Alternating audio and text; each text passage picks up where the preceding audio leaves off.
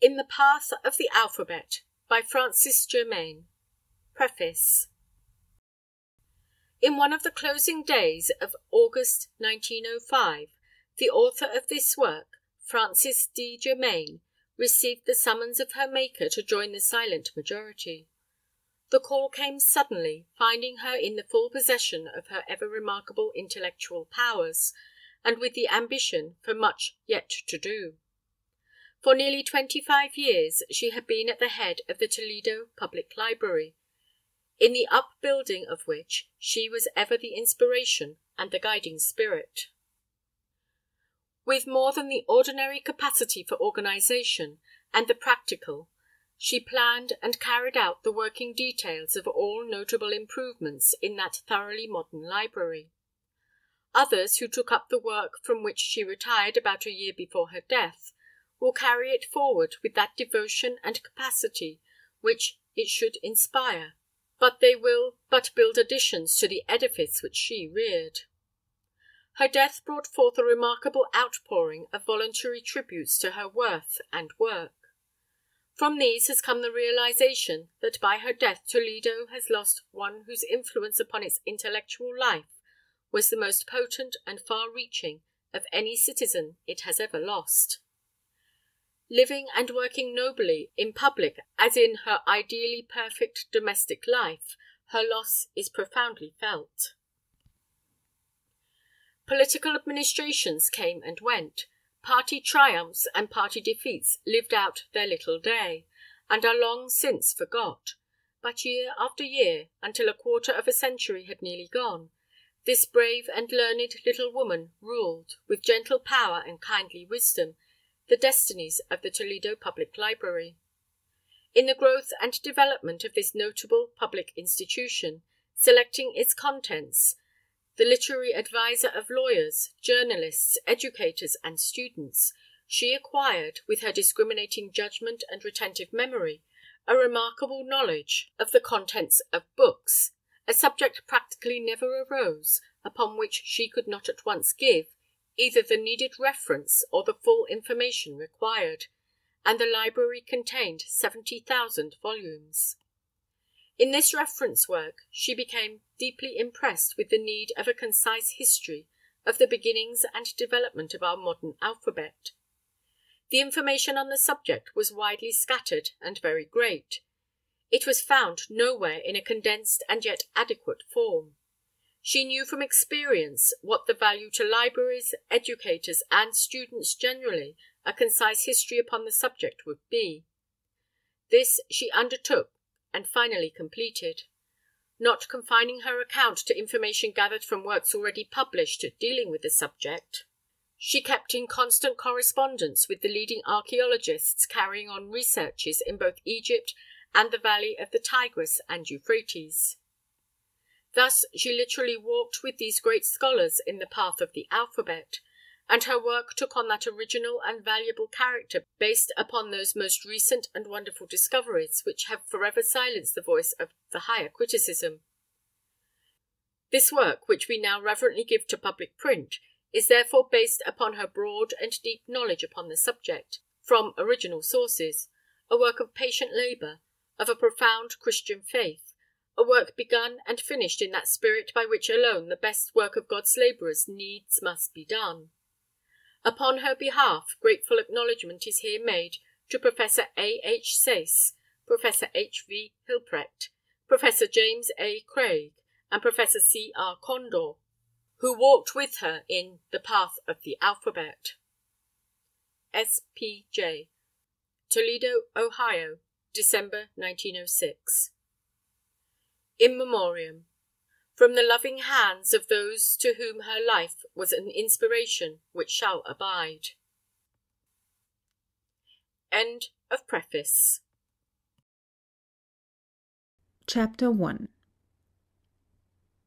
Of all the splendid achievements of archaeological research during the present century, there are none of more universal interest and importance than those which are revealing the origin and history of letters.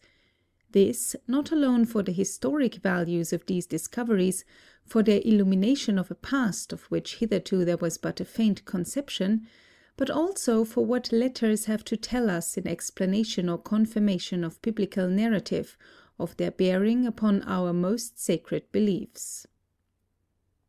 At the beginning of the present century the great mass of testimony now laid open before us was an apparently impenetrable mystery.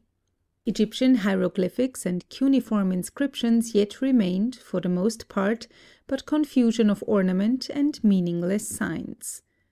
Some little advance, it is true, had been reached during the latter part of the eighteenth century as to the signification of certain hieroglyphic characters, but these were as yet but conjecture, a groping in the dark, with no means to verify, uncertain, unassured. With the opening of the present century two events occurred which were to place in the hands of scholars the keys to these mysteries. The first in date of these discoveries, though not in results, was the finding of the Rosetta Stone in 1799. This was an outcome of the French scientific expedition to Egypt under the first Napoleon. At this date, a French artillery officer named Bussard while digging among some ruins at Fort St. Julian, near Rosetta, discovered a large stone of black basalt, covered with inscriptions. This tablet, now known as the Rosetta Stone, was of irregular shape, portions having been broken from the top and sides.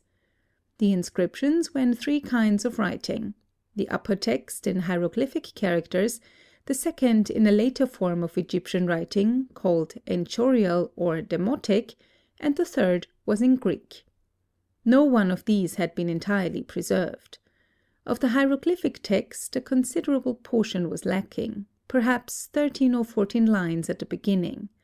From the demotic the ends of about half the lines were lost, while the Greek text was nearly perfect, with the exception of a few words at the end. The immediate inferences were that these three inscriptions were but different forms of the same decree, and that in the Greek would be found some clue for the decipherment of the others. It was first presented to the French Institute at Cairo, where it was destined not long to remain. The surrender of Alexandria to the British in 1801 placed the Rosetta Stone, by the terms of the treaty, in the hands of the British commissioner. This gentleman, himself a zealous scholar and keenly alive to the importance of the treasure, at once dispatched it to England, where it was presented by George III to the British Museum. A facsimile of the inscriptions was made in 1802 by the Society of Antiquaries of London, and copies were soon distributed among the scholars of Europe. When the Greek inscription was read, it was found to be a decree by the priests of Memphis in honor of King Ptolemy Epiphanes, B.C. 198. That, in acknowledgment of many and great benefits conferred upon them by this king, they had ordered this decree should be engraved upon a tablet of hard stone in hieroglyphic, enchorial, and Greek characters; the first, the writing sacred to the priests; the second, the language or script of the people, and the third that of the Greeks, their rulers. Also that this decree, so engraved, should be set up in the temples of the first, second, and third orders, near the image of the ever living king. It might be supposed that with this clue the work of decipherment would be readily accomplished. On the contrary. Many of the most distinguished scholars of Europe tried, during the twenty following years, without success. The chief obstacle in the way was the prevailing opinion that the pictorial forms of Egyptian hieroglyphs were mainly ideographic symbols of things. In consequence, the absurd conceptions read into these characters led all who attempted the decipherment of these far away from the truth. It is true that Zoega, a Danish archaeologist, and Thomas Young, an English scholar, each independently, about 1787, had made the discovery that the hieroglyphs in the ovals represented royal names and were perhaps alphabetic, but the signification of these characters were never fully comprehended by either of these great scholars. The claim made by the friends of Mr. Young as the first discoverer of the true methods of decipherment rests upon the fact that he gave the true phonetic values to five of these characters in the spelling of the names of certain royal personages, and in 1819 published an article announcing this discovery. He seems, however, to have had so little confidence in this conception that he went no farther with it, and still later, in 1823, lost the prestige he might have gained by the publication as his belief that the Egyptians never made use of signs to express sound until the time of the Roman and Greek invasions of Egypt. The real work of decipherment was reserved for Champollion, who, born at Grenoble in 1790, was but nine years old when the famous stone was discovered, which later on was to yield to him the long lost language of the hieroglyphs. Among the characters of the Rosetta Stone in the hieroglyphic text were to be found certain pictorial forms enclosed in an oval. It had hitherto been suggested that these ovals contained characters signifying royal names. Were these symbolic signs, or how were they to be interpreted? Champollion concluded that some of these signs expressed sound and were alphabetic in character. Thus, if the signs in the cartouche supposed to signify Ptolemy could be found to be identical, letter for letter, with the Ptolemaios of the Greek inscription, an important proof would be obtained. It so happened that on an obelisk found at Philae there was a hieroglyphic inscription, which, according to a Greek text on the same shaft, should be that of Cleopatra. If, then, the signs for P, T and L in Ptolemaios corresponded with the signs for P, T and L in Cleopatra, the identity of these as alphabetic signs would be confirmed. The comparison fully justified his theory, and further confirmation was supplied by further comparisons, until he finally came into possession of hieroglyphic signs for all the consonants. Again, certain indications convinced him that these characters appearing in proper names must be also initial letters or initial sounds of Egyptian words of which these signs were the pictorial representations. If this was so, the sign for the letter L, which in the royal names was the picture of a lion, must be the beginning of some word signifying lion, which in old Egyptian would begin with the letter or first syllabic sound of L. The pictorial sign for the letter R was the mouth. The word for mouth, then, in Egyptian, must begin with the letter or a syllabic sign for R, and so forth. The early opportunities which Champollion had enjoyed for the preparation of his great work were peculiarly significant. He was educated by his elder brother, a man of great learning, professor of Greek in the Academy of Grenoble, whose companionship early influenced the direction of his younger brother to linguistic studies. In addition to this, the intense interest aroused throughout Europe by the vast collection of antiquities brought thither by the men of letters and science who accompanied Napoleon's army in Egypt had compelled the attention of scholars to this special field of research as never before. With this guidance, and moved by the spirit of the times, Champollion's studies in ancient Greek led him to an early acquaintance with the Coptic language. It is said that, as a result of this study, at the age of sixteen, he read a paper before his academy, maintaining that the Coptic was the language of the ancient Egyptians. This is not now a spoken language, having been supplanted by the Arabic since the seventeenth century A.D. It, however, survives in the service ritual of the Coptic churches of today, and, though written in old Greek characters, the ancient language is still heard, though but few understand it. As Champollion made use of his hieroglyphic alphabet for the spelling of other words than proper names, his satisfaction may be imagined when he found that these were Coptic words. Thus the sign for mouth, for the letter R, was the initial letter or syllabic sign of the Coptic word rho, signifying mouth. The picture of a lion for the letter L also represented the initial letter or initial syllable of lavo, the Coptic term for lion. The picture of an eagle, representing the sign for the letter A, is also the sign for the initial sound or letter in Ahem, the Coptic for eagle, and so on. The language, then, of the hieroglyphs was Coptic, or rather in the Coptic we have a survival of the ancient Egyptian, the language of the pyramid builders. More correctly speaking, it is the Egyptian language of the Ptolemaic period, corrupted with Arabic and Greek idioms, but still including the language of Old Egypt. It was indeed a thing which might have been expected, that the language expressed by the ancient hieroglyphs should bear a resemblance to Coptic, but that the resemblance should be as close as it has proved could scarcely have been expected. Again, of special interest in this connection is the fact that in the Greek the writing and language of Egypt should be thus preserved.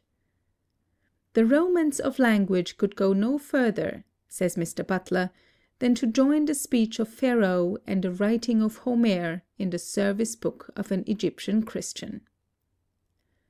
At this point, a brief reference, bridging the centuries from the decline of the use of hieroglyphics to the latter appearance of the language in its Coptic and Greek forms, should have a place. The extensive use of Phoenician and Greek alphabets in Egypt and throughout the Orient, for some centuries before the Christian era, had affected the Egyptian script as a social and commercial medium.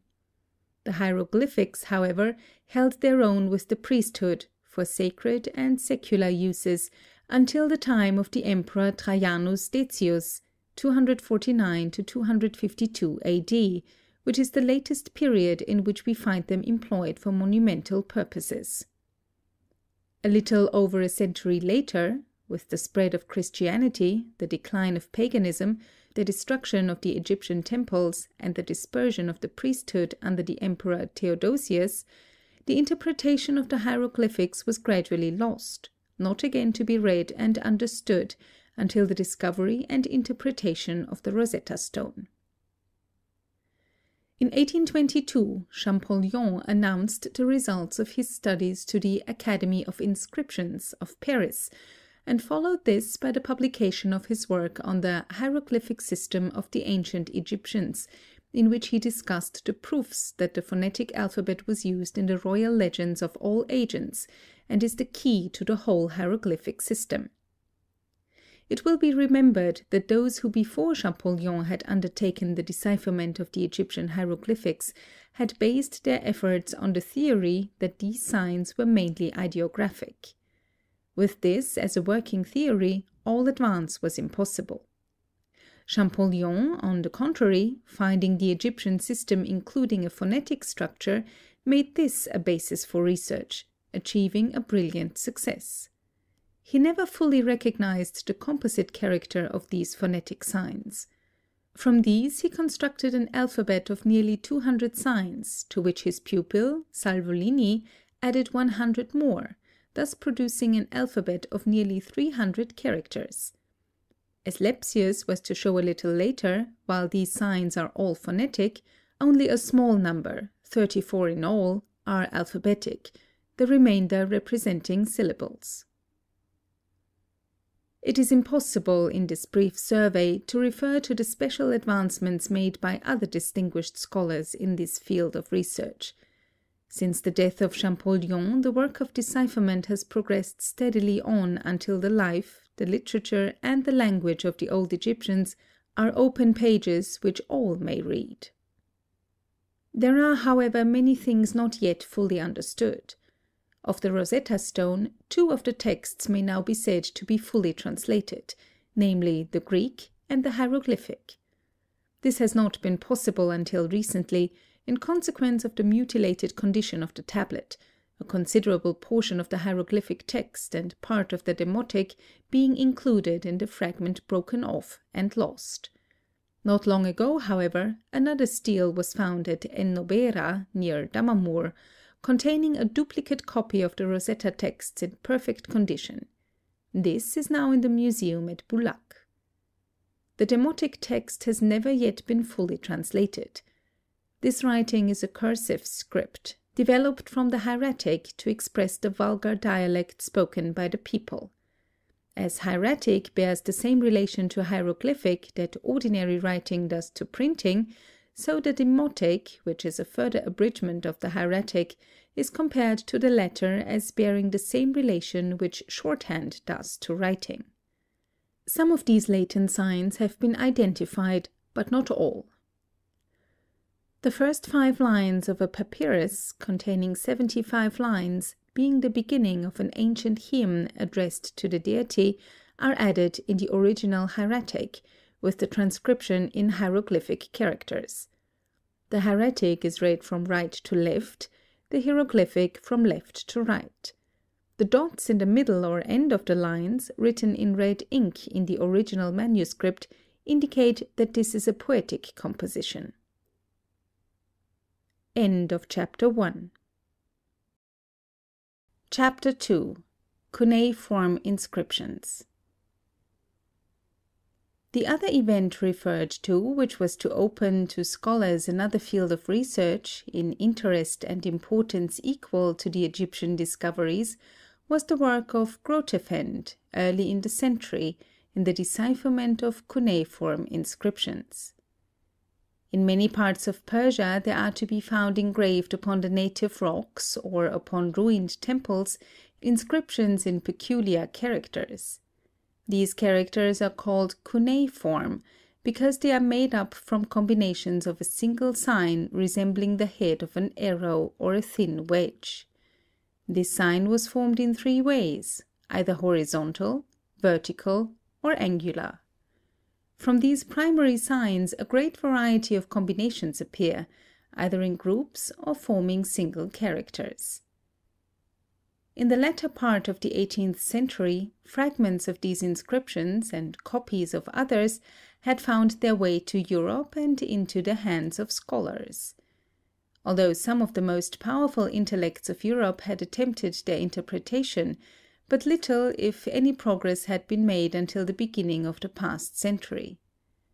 In the year 1802, Grotefend, then a young student in the University of Bonn, announced to his colleagues his success in the decipherment of a trilingual inscription copied by Niebuhr from the ruins of a royal palace at Persepolis.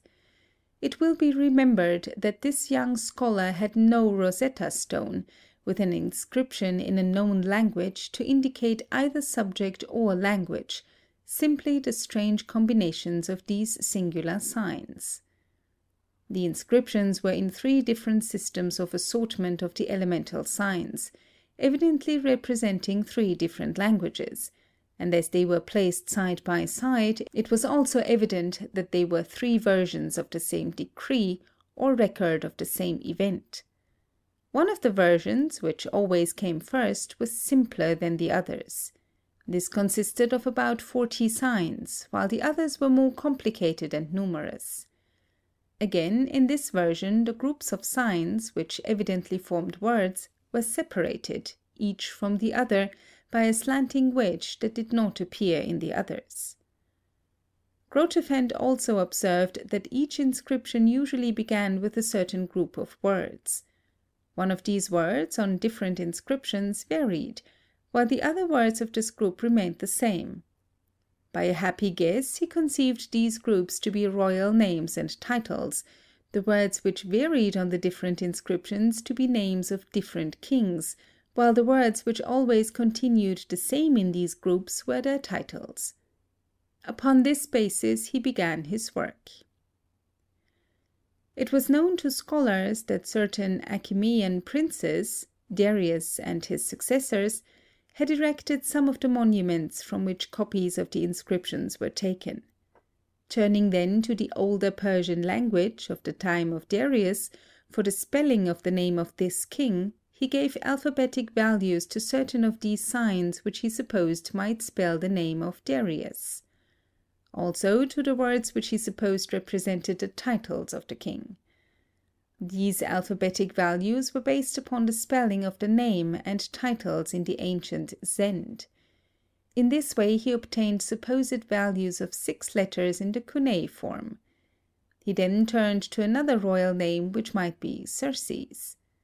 The name of Darius in Old Persian or the Zend is spelled D A R H E A U S C H. Again, the name of Xerxes in Persian is K H S C H H E R E. Now, if the third sign in the spelling of the name Darius was the same as the fifth sign in the spelling of the name Xerxes, in the Zend this must have the phonetic value of R. The comparison proved the correctness of this conception. And again further confirmation appeared in another royal name, Artaxerxes, where the latter part of the name was the same as the second royal name and the sign for the second character again corresponded with the letter R. Thus he compared letter by letter and sign by sign until he had found agreement in signs and sounds for the names of these kings and their titles. Grotefend never succeeded much beyond this discovery, which was confined chiefly to the Persian inscription. The language of the others was unknown, and the characters peculiar and more numerous. They each evidently represented more ancient forms of writing, with complications not found in the simpler Persian version. Other scholars have, however, carried forward the work begun by Grotefend, some of these reaching the same results independently, as in the case of Sir Henry Rawlinson, who applied the same processes to the other trilingual inscriptions, quite ignorant of Grotefend's methods, and with further success. Still, to Grotefend is due the honor of first discovering the clue to the cuneiform system, and he it was who first laid a basis for future labors, which, wherever adopted, has reached the most satisfactory results.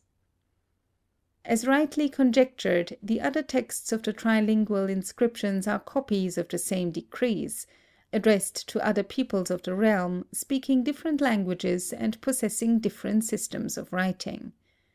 As a Persian ruler of today publishes an edict in Persian, Arabic, and perhaps a Turanian dialect, so that it may be understood by all his subjects, so the ancient Persian kings put theirs into the languages and systems of writing peculiar to the principal races or people inhabiting the country. It was not, however, until the discovery and translation of the inscriptions at Nineveh that the full story of these Persian inscriptions was distinctly revealed. It was then found that the two other texts were addressed, the one to a Semitic people of Persia, the other to a Turanian people, descendants of the primitive inhabitants of the country. The close relations of these two systems of writing to the two similar systems found in Assyria and Babylonia were in evidence of the kinship of these separate races. Through the systematic arrangement of the vocabularies of the Semitic and Akkadian people found in the Ninevite remains, the secret of the Persian trilingual inscriptions came to light, revealing the extensive use of the cuneiform writing among the various people of Western Asia. A significant fact in the early history of the decipherments of hieroglyphic and cuneiform characters are the coincidences in these narratives. Thus the keys to both interpretations came through the sound and spelling of the royal names. Again, the clue given by the Coptic to the sounds of the old Egyptian was also afforded by the ancient Zend, the sacred language of the Parsees. Notwithstanding the fact that alphabetic signs were the key to each of these systems of writing, we are not to find that either the hieroglyphic or cuneiform systems were founded on the alphabet. We are to find that alphabetism and a pure alphabet are not identical. We are also to find that before the simplicities of an alphabet are reached, the art of writing in all systems is a series of bewildering complications. Subjoined are illustrations of cuneiform vowels and consonants as written. End of chapter 2. Chapter 3 Phonetism. While yielding to the charm of some master of language, who of us gives a thought to the fact that the grace and flow, the flexibility, the mysterious eloquence of written speech, is largely due to the invention of letters. Only twenty six simple signs, yet what marvels of simplicity and power! In the readiness of these for new combinations, their varied adjustments and readjustments in the formation of words, we find the life and growth and practically unlimited expansion of language. The rhythmical melodies of verse, those inherent powers which render them so adaptive to the wants of man, and withal so easy to be acquired. Yet writing without an alphabet is quite possible, in fact, the history of the past is revealing great nations and people in possession of systems of writing and of extensive literature, not founded on an alphabet. We are nevertheless to find that writing without an alphabet is a difficult and complicated matter, so serious and difficult that comparatively few could acquire the art, and that though in great measure this was confined to special classes, as the scribes who devoted themselves to the practice, and the priesthood who were invested with the power, yet the art of writing was understood and in common use to an extent incomprehensible when the difficulties of its acquirement are considered. The results were nevertheless to limit the extensions of knowledge, proving in all directions a barrier to progress. Truly has it been said that the history of our alphabet is the golden thread which entwines itself with the long story of man's civilization, that it is the greatest triumph of the human mind, and again, as the most wonderful of intellectual achievements. For we are coming to know that letters are an invention, not spontaneous productions or miracles of language, and that evolution, as in other directions of human inquiry, has much to say upon their origin and history. Though taking us to a past so remote, the record for the greater part is singularly distinct and clear. The story is, however, but a recent revelation, not even as yet fully told, gathering only sufficient coherence within the past forty years to make the telling intelligible or possible. A fragment of inscription here, a roll of papyrus there, illuminated by the inspirations of genius, and the ages which have so long withheld from us the story of our alphabet are slowly yielding the secret. To give in brief review the leading facts in this story is the simple purpose of this history. Before entering upon our narrative, however, we can best understand the obstacles in this path of research, perhaps best understand letters themselves, by a brief survey of the principles upon which the origin and development of graphic representation are said to depend. Perhaps we may see more clearly how scholars groping in the dark in their study of these unknown characters came to perceive first one fact and then another, until the great story of letters was revealed. We are thus first directed to the fact that at different periods of time, in various parts of the globe, different races of men, each in their own way, have invented methods of communicating with the absent, and for the record of events. Independently of speech or the art of writing, other methods employed by primitive man of communicating with his kind should first be noted. Thus, the ancient gesture language, common to all races and people, whereby facial expression, attitudes, or gesticulations, sorrow, hatred, love, confidence, regret, all emotions were expressed. That picture action which we find appearing in picture writing. Again, objects representing ideas which were used as message bearers. In illustration of this, we have the story told by Herodotus of the king of Scythians, who sent as gifts to Darius when about to invade Scythia a bird, a mouse, a frog, and five arrows. When the Persians asked of the messengers the meaning of these gifts, they would not explain, but told them they should discover for themselves what these things signified. The interpretation suggested by Darius was that since a mouse is bred in the earth, and a frog lives in the water, the Scythians gave up land and water. The birds signified their speedy flight, and the arrows the surrender of their arms to the Persians. Not thus, said Gobryas, should you interpret this message. It means, O Persians, unless you become birds and fly into the air, or mice and hide yourself beneath the earth, or frogs and leap into the lakes, ye shall never return to your homes, but be smitten with these arrows. Akin to objects as message bearers is the knight's glove sent as a challenge to combat, the pipe offered by the North American Indian in token of amity, the rosemary sent in remembrance, or the rose as a token of affection. Other methods employed for sending messages are of curious interest as commonly used by people far removed from each other in time and place, as the knotted cords of the Chinese, or the quipus of the Peruvians, which, by their numbers, the style of knotting, or the distribution in groups, were used as message bearers to all parts of the country. In the same category, also, are the notched sticks of the North American Indians, the tally sticks of the Danes, the English, and other people.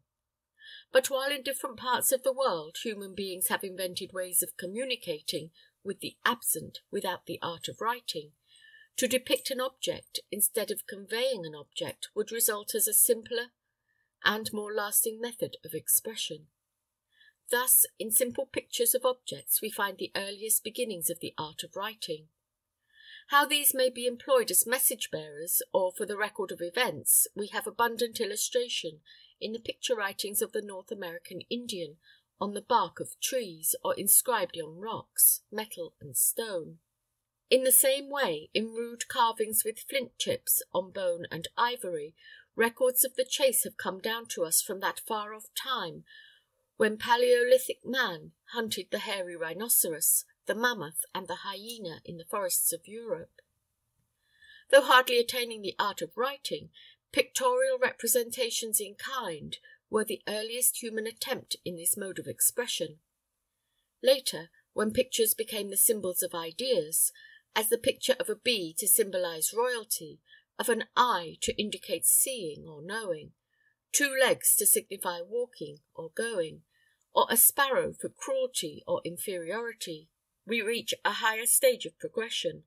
Relics or reminiscences often of the old gesture language, or objects sent as symbols of ideas. These two first stages in the development of the art of writing are known as ideograms, where signs, symbols, or figures suggest the ideas of objects without expressing their names. To construct a sentence in this way with the various parts of speech is impossible. The next advance was phonetism, the representation of the sound of words. Thus the picture of a lion or a camel will be understood whatever the language of the picture maker may be. Perhaps also symbols for things, as the sun for light, or an eye for seeing. But how, says Heeren, can the names of persons, as Henry, Louis, and the like, be distinguished by symbolic pictures? This is true also of many other words without the adoption of signs or characters to represent sound, or the names of things. Any adequate expression of facts or ideas is impossible. It thus came about that when pictures of objects or symbols of ideas obtained a fixed and permanent sign for the sound in any language, phonetism began. Among the confusions which appear at this stage are the homophones, relics of that primitive stage in speech, the monosyllabic, when few sounds were used to express many things. As an example in modern English, we have such words as pair, pair, and pair, or right, right, right, and right words so like in sound, so unlike in meaning. In our language, these homophones for the greater part are defined by the variant spelling. But as without an alphabet there could be no variant spelling, other devices were necessary to indicate the various meanings of words having the same sound.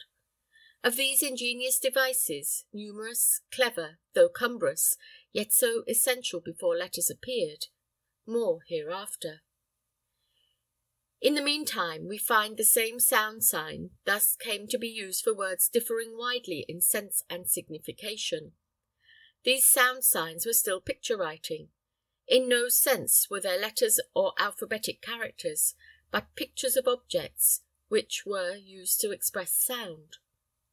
This first stage in phonetism is therefore often called by philologists the rebus stage.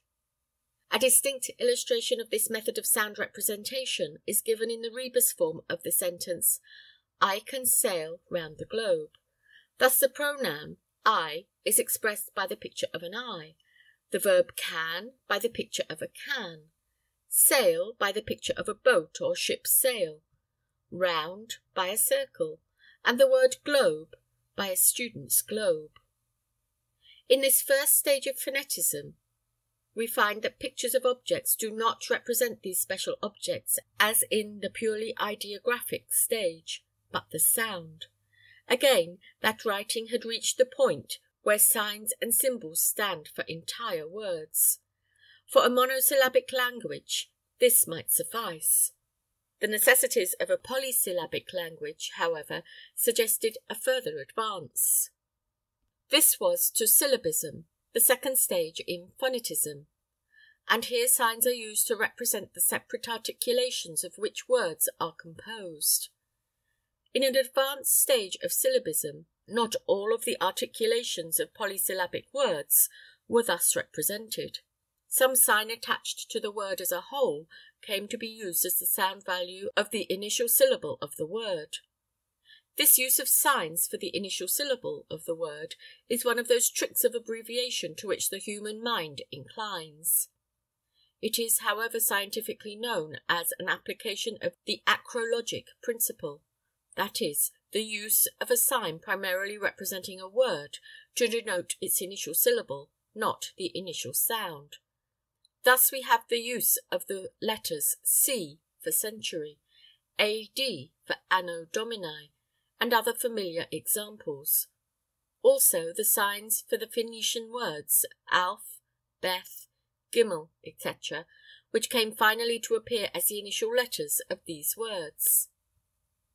At the same time, we are to remember that at this stage these simple signs are as yet representing syllables. They do not as yet separate the vowels from the attached consonants, denoting both together by a simple sign. Nor at this stage of writing was there any conception of such a division. The vowel seems to have been regarded as inhering in the consonant. As yet no way had been devised to express the vowel sounds. We can, however, readily perceive that any attempt to treat pure syllabic signs alphabetically would be impossible. The power of the sign for ni is not n, the sign for rho is not r. Si, psi, and su are not s, and nor is tu t. The selection of a number of such signs representing initial syllables of words is termed a syllabary.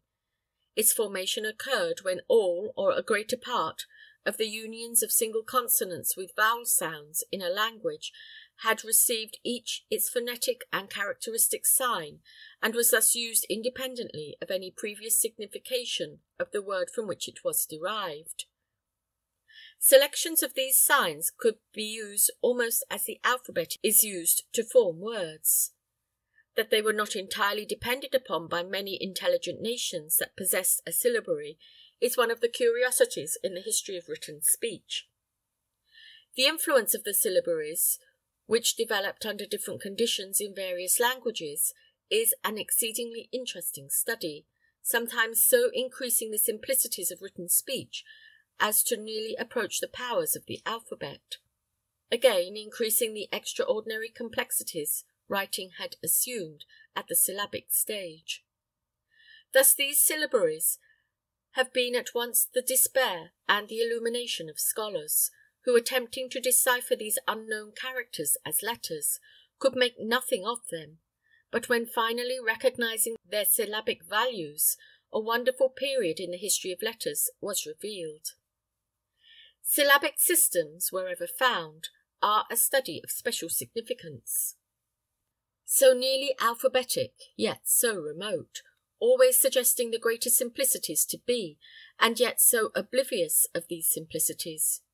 But one step further, and alphabetism is at hand.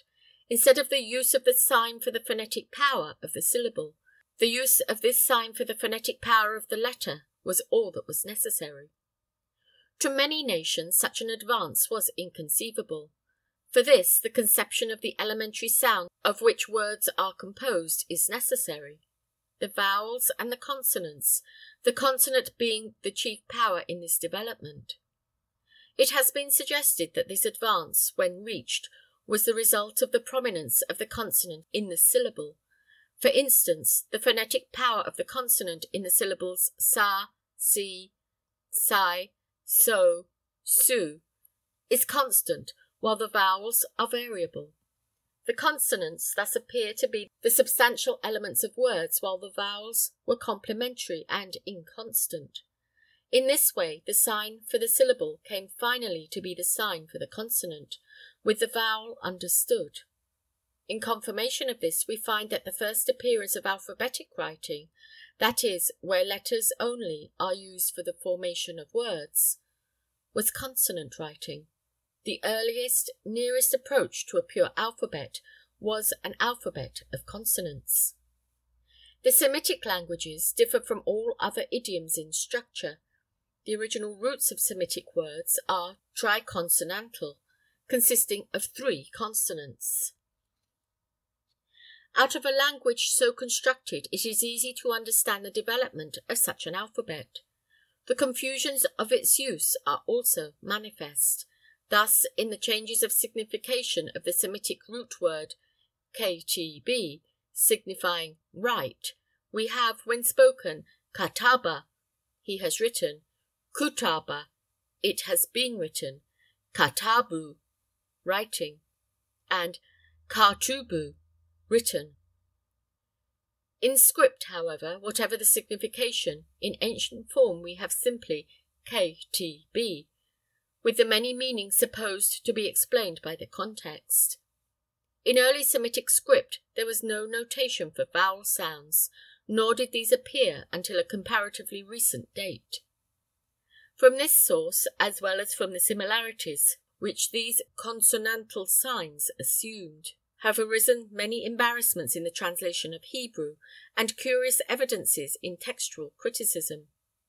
With the Semitic letters, however, we have reached the first alphabet, not the first appearance of letters or alphabetic characters, but that stage in the evolution of letters where these were used independently to express words. At this point, surveying the course from its beginnings, we find the tendencies of progression are, first, simple pictures of objects, again these simple pictures representing ideas, then as denoting sound or the names of objects, later on as syllabic signs, and finally as letters. Along this line of progress there are, however, certain curious phenomena which record the historical course of writing as distinctly as do the successive deposits of geological periods. While the tendency of all systems of writing is from ideographism to alphabetism, not all reached this latter stage. Some gradually reached phonetism, where they stopped. Others advanced to syllabism, and there remained. Another singular circumstance is that this progress in phonetism is always without giving up ideographism, that every stage is still picture writing.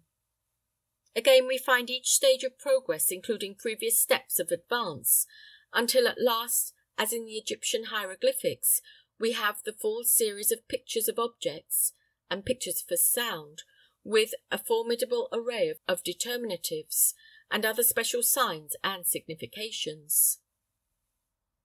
This order of progress has been found so constantly true with all original systems of writing among all races, near and remote, that it may be regarded as a natural universal law. There follows a chart showing valuable comparative examples of hieroglyphic and hieratic figures. End of chapter 3. Chapter 4 Syllabism Many eminent philologists suggest a time in the history of human speech when language was monosyllabic, when by a few simple utterances human beings were able to express many things, indicating by gesture or tone which of the words having the same sound was the thing expressed. Later on we find language developed by the connection of two or three of these root words, agglutinated or stuck together as one word, by which this obtained a broader meaning. This is the first stage in polysyllabism, and is known as the agglutinative stage. Later human speech passed into the inflectional stage, where these agglutinated words, having coalesced or melted into one, became so changed in time by phonetic corruption that finally it becomes impossible to determine which part was the original root and which the modifying element of the earlier stage. Of the monosyllabic stage in language, the Chinese is a distinguished example. This language is referred to by many eminent philologists as the most primitive in structure of any living tongue. It is a language of monosyllabic roots, limited in number, these roots possessing neither inflections nor parts of speech. Each word is a root and each root is a word, which in turn may be used, according to its place in a sentence, as a verb, noun, an adjective, a participle, or some other grammatical form. In speaking, the Chinese express these homophones by varying tones and gestures. In writing, their meaning is ingeniously explained by the use of two characters. One of these is a phonogram, which gives the sound of the word; the other is an ideogram, or picture form, that explains which of the words having this sound is the one indicated. These ideograms are styled keys, and later on it will be observed are identical with the determinatives of the Assyrian and Egyptian systems. As an instance of the Chinese use of these keys is the phonogram ha. This has eight distinct significations. Thus, it may denote a banana tree, a war chariot, a scar, a cry, or any other of its various significations according to the key associated with this phonogram. Thus this language, possessing but a limited number of root words, is so expanded by the varying combinations of phonetic signs and ideographic characters that its acquisition for reading or writing is a formidable achievement. Some of the recent dictionaries of the English language record a vocabulary of 200,000 words. To write any or all of these one needs only to learn the 26 signs of our alphabet. To write a common business letter or to read an ordinary book in Chinese, it is necessary that the scribe or student should know familiarly from six to seven thousand of these groups of characters by which to express the forty or fifty thousand words in the vocabulary of the Chinese. Again, many of these characters are so similar in form that to write them accurately requires intense concentration and acute powers of memory. Notwithstanding this, China has been a center of culture and intellectual activity from her first appearance upon the stage of history. From the earliest period, the social and political system of the Chinese has been based upon educational qualifications. All political dignities, honors, and preferments, by unalterable law and usage, depend upon the educated abilities and scholarship of the candidates for office. The rank of mandarin comes by no hereditary right, nor by favor of a sovereign, but through severe intellectual effort. If in some cases this is obtained through corruption and bribery of some clever scholar who sells his literary privileges to some richer competitor, this does not alter the case; honors still go to scholarship. It is said of these successful men, the true students that it would be difficult to parallel them in any country for readiness with the pen and retentive memory. If they are not highly educated, it is due to their false system of educational merit, which consists in an undue exercise of the memory at the expense of the thinking powers. It is also due to the fact that it is a stereotyped system, based upon an ancient usage and custom, concerned with the past and ancient tradition rather than present or future progress. The early history of this people is specially interesting in light of recent discoveries. These suggest, and the suggestions are confirmed in the ancient literature of the Chinese, that at a period about B.C. 2500 these people made their first appearance in China from some locality south of the Caspian Sea in western Asia. This is supposed, from certain historical correspondences, to have been Susiana, and that their emigration was the result of political disturbances occurring throughout western Asia at that date; that, Driven from their early home, they wandered eastward, finally settling in the fertile districts of Shansi and Honan near the Yellow River. About the same time other families of this people settled to the south in Annam, from whence these kindred people finally spread all over China. When they first came into the country they found there aboriginal tribes of various races. In their historical annals, the most important of these primitive inhabitants are referred to as the Kwai people. It is said of these that they practiced the art of writing and possessed a literature which is referred to by the Chinese as the Kwai books, which included a treatise on music. M. de Lacouperie conjectures these primitive people to be of the Assyrian stock, of whom remnants are to be found in the present day in Cambodia. When the Chinese came into the land, they had a culture of their own, they were advanced in the industrial arts, and they possessed a system of writing and literature. They date the origin of writing with them to a mythical emperor, Hwang Ti, who invented the art, selecting for this purpose objects in the air and on the earth and in the world around, substituting these representations or symbols of things for the knotted cords then in use. Modern Chinese writing gives but a faint suggestion of a derivation from ancient pictographs. These, however, can be traced by referring to archaic forms of these characters. Again, in Chinese words are formed by two characters, the one representing the sound, and the other the key which indicates the sound. These two characters are so imposed, the one upon the other, as in a modern monograph, or are so closely associated, that to the uninitiated they appear as one character. When, however, these characters are separated, they bear often distinct resemblances to objects, and in the archaic forms of these characters their picture origin is distinctly apparent. Dr. S. W. Williams, in his work The Middle Kingdom, Volume 1, has illustrations showing fine examples of archaic and modern forms of Chinese characters that are in evidence of the pictorial origin of the Chinese system. The references to the mythical emperor, Hwang Ti, who, according to Chinese annals, invented their system of writing, seems to have antedated the appearance of this people in China. In their historical literature his name is written Nakhon Ti, and he is so nearly identical in name, character, and works to the Susian deity Nakhun Ti that the two are evidently the same.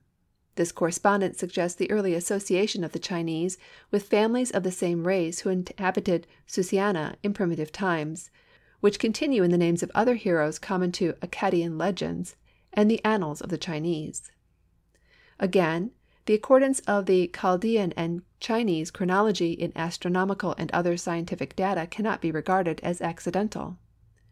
Among many remarkable parallelisms in the literature of both races are the astrological chapters of the Shih King, the most ancient of the dynastic histories of the Chinese, and an astrologic chapter in an Akkadian document. These have been translated by Professor Sayce from the cuneiform, who finds constant occurrence of the same expressions in both records relating to particular forecasts connected with certain planets, as soldiers arise, gold is exchanged, and many others. Again, the division of the Chinese Empire by the Emperor Yao into twelve portions, governed by twelve pastor princes, in imitation of the feudal system of ancient Susa, is another evidence of the former association or close contact of these distinct people. In the literature of the Chinese there is a work for which they claim the highest antiquity. Until recently no clue has been found for its interpretation. This was the Yi King, or Book of Changes, which has been a sealed mystery to the ablest Chinese scholars of all ages, including Confucius. Its interpretation has, however, been accomplished by M. de la Lecouperie, who finds this work to be a collection of syllabaries, such as are common in Akkadian literature. These are interspersed with chapters on astronomical and astrological lore. Others, again, refer to the ethnology of primitive inhabitants of the country, all of these, however, taking the form of vocabularies only possible to interpret by recognizing their syllabic character. The appearance of this work in ancient Chinese literature is explained in two ways. Professor Douglas regards this as an evidence that in bygone ages this language was polysyllabic. He points to the fact that certain words indicate a former polysyllabism and from this infers that the language, as it now appears, is an example of phonetic decay. Others, on the contrary, see in the occasional but rare evidences of agglutination the influence of contact with other races speaking an agglutinative or polysyllabic tongue, and of which the above example in their ancient literature is perhaps a literary remains. It is incredible that a race so advanced in polysyllabism, as evidenced by the Yi King or Book of Changes, could revert to so pure a monosyllabism as is now presented by the Chinese language. Phonetic decay is possible to many words in a language, but so general a reversion to primitive conditions is scarcely possible of a whole language. Reference has been made in the Chinese system of writing to their use of picture forms or ideographic signs in association with the phonograms to explain the meaning or particular use of these signs. This principle, so often referred to, is by no means a special invention of the Chinese, but as we shall see, occurs in all original pictorial systems of writing with the development of phonetism. This is, that when phonetic values begin to attach themselves to the primitive ideographs, these are retained and attached to the signs expressing the primitive sound. As if, says Professor Sayce, to assist the memory in remembering the meaning and pronunciation of a particular word. In this way, evidently the keys of the Chinese system had their origin, as also the determinatives of the cuneiform, the hieroglyphic systems of the Egyptians, the Maya or Mexican, and other pictorial systems. Among the many advantages obtained from a purely syllabic or purely alphabetic system of writing is the easy adjustment of these signs to various forms of speech. This is eminently true of alphabetic systems. On the other hand, the application of non alphabetic characters to other than the original language to which these were adapted is by no means so simple and manageable in results. We have seen how the Chinese, by the simple use of the phonogram and the ideogram, were enabled by the structure of their language to retain this form without variation through the ages. The tendency in polysyllabic languages, after reaching the phonetic stage, was to greater complexity and an increase of explanatory signs in systems of writing. Sometimes the transmissions of these primitive systems from one race to another led to simpler methods. It, however, not infrequently happened that these transmissions led to greater complexity. This depended somewhat upon the diversity between the languages spoken by the authors of the primitive systems of writing and those who adopted it. While speech and mode of writing are distinct and independent the one of the other, the influence of language structure in the evolution of graphic systems is conspicuous. Thus, a sentence of English speech might be expressed by Chinese characters or Egyptian hieroglyphs. In the Tel Armana tablets, more than one language appears in the cuneiform. We have seen how the so called Hittite characters were found on occasion yielding Greek words, and the use of the Roman alphabet for French, German, Italian, and other languages are everyday examples. The fact, however, remains that in the process of the development of primitive systems of writing, before the use of an alphabet, the influence of language structure upon the system of writing is an important factor in the case. A curious phenomenon in the history of human speech is the preference shown by certain families of language for special combinations of vowels and consonants. The simplest combination is of a single vowel with a preceding consonant in the formation of syllables.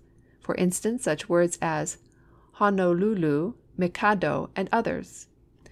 The Japanese form their syllables only in this way. The same is true of Polynesian dialects and also certain families of language in Africa south of the equator.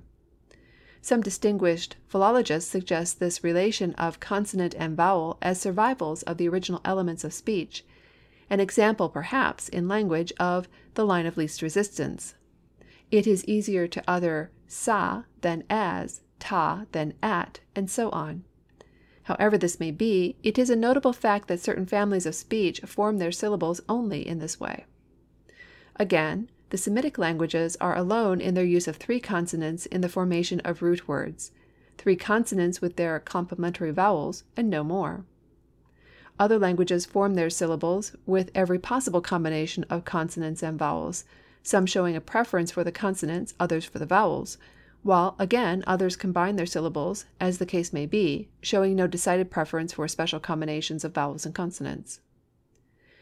These conditions have had their influence on the development of graphic systems.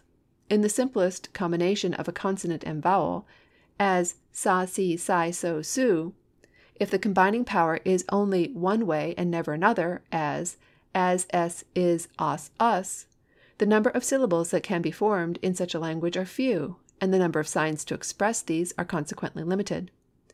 But when the combining power is both ways, the number of possible syllables increases with every increase of these combinations of vowels and consonants, and the number of signs correspondingly. The transmission of the Chinese system of writing to the Japanese, which occurred about the third century B.C., indicates this influence of language structure towards simplicity. The Japanese language is polysyllabic. No syllable contains more than one vowel, with a single preceding consonant. In the adoption by the Japanese of the Chinese characters in the kata kana syllabary, a certain number of phonograms were selected which would give the sound of the unions of consonants and vowels in the Japanese language. As spoken, this includes five vowels and fifteen consonants. As these combine only in one way, there are but 75 possible combinations of vowels and consonants in this language. As some of these possible combinations never occur, the use of 45 of these syllabic signs are all that is necessary to form any word in the Japanese language, with the kata kana syllabary. In the formation of this syllabary, the ideographic characters of the Chinese system were found unnecessary and were rejected. The result has been one of the best syllabaries that has ever been constructed. The Japanese have another syllabary, the hira kana, derived from a cursive script of the Chinese. This syllabary, however, is more complicated, including with the syllabics a greater number of signs as variants and homophones, in all nearly 300, a marked contrast to the simplicity of the other. It is, however, one among many instances we have in the evolution of letters, where the simpler way seems so easy and evident, but yet is not recognized. End of chapter 4. Chapter 5 In the narrative given of the decipherment of cuneiform writing, reference was made to the three distinct combinations of the arrow-headed or wedge-shaped characters in the trilingual inscriptions at first deciphered.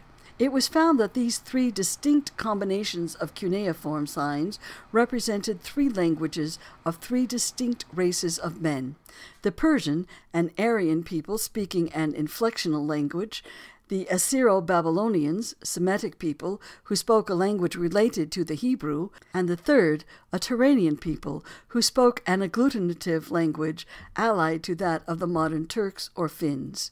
It was some time after the decipherment of the Persian version of cuneiform texts before these facts became fully understood. The Semitic texts presented unusual difficulties, while the language of the other versions remained for a time unknown.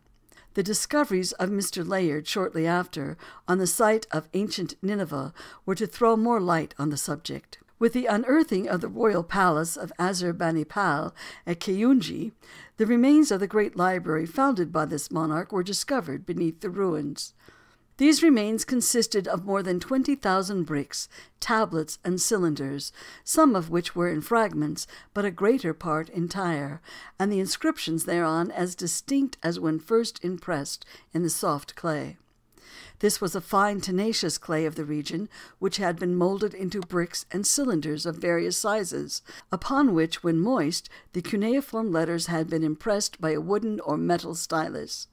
They had then, for the greater part, been hardened by a slow fire, and were thus made practically indestructible. These cuneiform books were soon distributed in the great libraries and museums of Europe, and thus became accessible to scholars. Among these literary documents were found a large number which consisted of translations, either interlinear or in parallel passages, from a non Semitic language into Assyro Babylonian. It appeared in two dialects the speech of the early people of northern Babylonia, the people of Akkad, and the speech of the primitive inhabitants of southern Babylonia, the people of Sumer or Shinar. The close alliance of the peoples of Akkad and Sumer in race and language has led to the general application of the name Akkadians to both families. A closer distinction in general terms, now adopted by scholars, is Sumerian. Further discoveries rapidly following the unearthing of the Ninevite tablets confirmed the evidences that these people were the inventors of cuneiform, and that the Sumerian dialect represented the most ancient of the cuneiform scripts. In the oldest inscriptions which have yet been found, the characters are hardly as yet cuneiform. The lines are straight and simple, resembling somewhat the strokes and dashes appearing in words spelled by the electric telegraph code. The arrangement of these is pictorial, forming picture hieroglyphs, and these were found to be ideographic and not phonetic. By degrees, the wedge shaped and arrow headed characters appear. The pictorial forms are not so distinct, and these characters express sound as well as ideas. The story revealed by these older inscriptions was a genuine surprise to scholars. It not only presented the remoter occupation of Mesopotamia by a hitherto unknown people, but also that while to Mesopotamia is to be accorded the distinction as the motherland of the arts and the sciences, it was not to its Semitic inhabitants, the Assyrians and the Babylonians of history, that this is due. Here, long before the appearance of a Semitic people in the land, scientific applications to the industrial arts were abundant. An extensive system of irrigation and canals were in use in the arid regions, and drainage for the lowlands near the sea. The arts of metallurgy were practiced. Mathematics and geometry were applied to structures, and astronomy to measurements of time and planetary movements. They were builders of cities. As we have seen, they had invented a system of writing. In certain cities they had schools for scribes, and they had libraries where the literature thus developed was collected.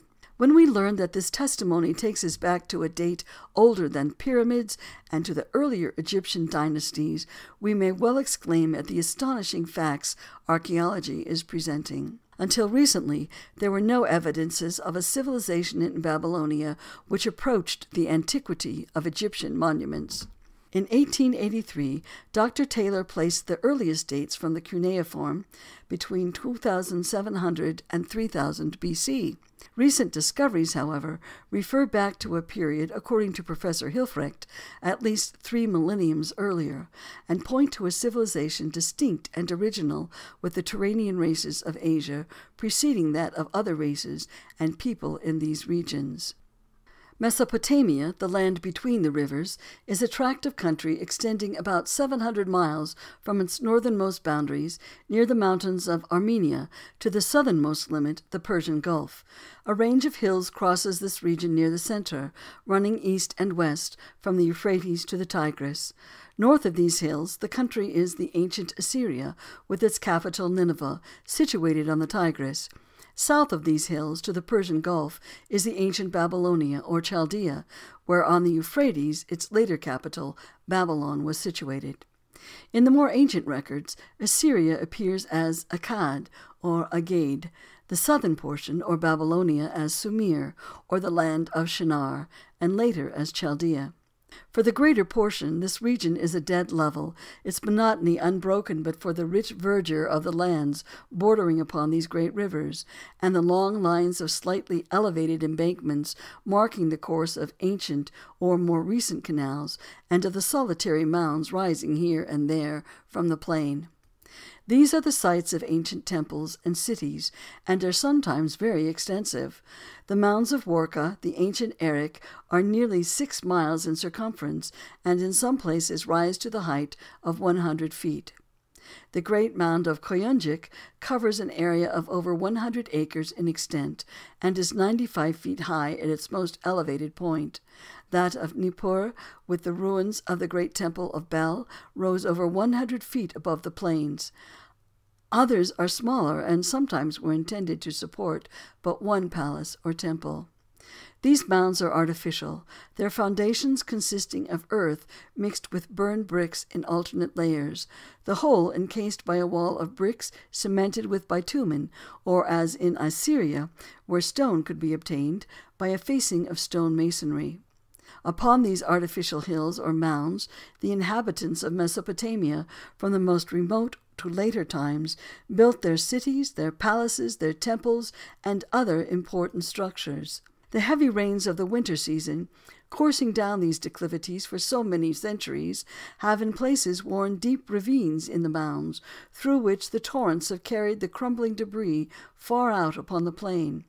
In this way many valuable relics have come to light, bits of pottery, inscribed bricks, seals, and cylinders, the form and style of the inscriptions upon some of these indicating great antiquity. These indications of greater antiquity include inscriptions on bricks for building purposes, as well as those used for records and literature. They include also the form and character of the inscriptions, whether archaic or later cuneiform, and again the use of bitumen or cement in masonry. In primitive times, the first bricks which succeeded the mud wall were sun dried and were laid up with reeds and plastered with soft mud or bitumen. This bitumen was applied hot and adhered so firmly to the brick that it is almost impossible to break them apart to obtain the cement, and is one cause why the masonry consisting of sun dried bricks has in many cases withstood the ages. Later the sun dried bricks came to be used only for interior walls, while for the outer walls bricks were made from selected clay and were carefully prepared and burned, forming bricks of superior quality and strength. So well have these withstood the ravages of time that some of the mounds, notably those of later Babylonian period, are veritable quarries of building brick. It is stated that the bricks of which the temples and palaces of Babylon were built have for the past 2,000 years supplied cities of the surrounding region with the material used in the construction of public and private edifices, and that certain families of the Babili tribe, who claim to be direct descendants of the Babylonians, are exclusively employed in quarrying them. As has been stated, bitumen was used for laying the masonry in remoter times, long before Babylon was built.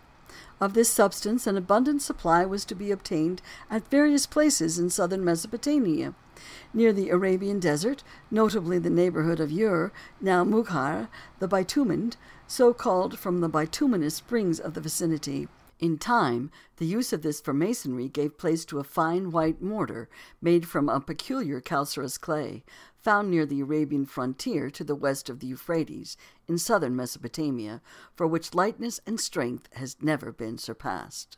These evidences, including also the inscriptions originally stamped upon the bricks with the name of the king or ruler under whose orders they had been prepared, furnished indications of their time and place in history. It thus came about that explorers following the work of Botta, Layard, George Smith, and others, found their way to sites more ancient by many centuries than the beginnings of Nineveh or Babylon, and have obtained from these records great historical importance. The more ancient of these sites are in the southern portion of the country, in that region anciently known as Sumir or Shinar, and later as Chaldea. This was on the lower courses of the great rivers, the Tigris and Euphrates, toward the Persian Gulf. This region abounds with the ruins of ancient cities as yet unexplored. The most important cities of this region were Eridu, the most ancient and sacred, now marked by the mud heaps of Abu Shirain, the city of Ur, now Mugheir, once a maritime and commercial city of these earlier times, and of special interest as that Ur of the Chaldees, the early home of Abraham, Nippur or Nefer, the seat of older Bel, Tel Loh, the ancient Sirgulla and Larsa. The sites of Ur and Eridu, once near the sea, are now far inland. Eridu, formerly directly upon the shores of the Persian Gulf, is now 150 miles distant, while Ur, once situated at the mouth of the Euphrates, is now about 150 miles distant from that sea, and about six miles to the west of the present course of the Euphrates on the western banks of the older bed of the river, nearly opposite the point, though six miles away, where the Shat el Hik enters the Euphrates from the east as it approaches from its source in the Tigris.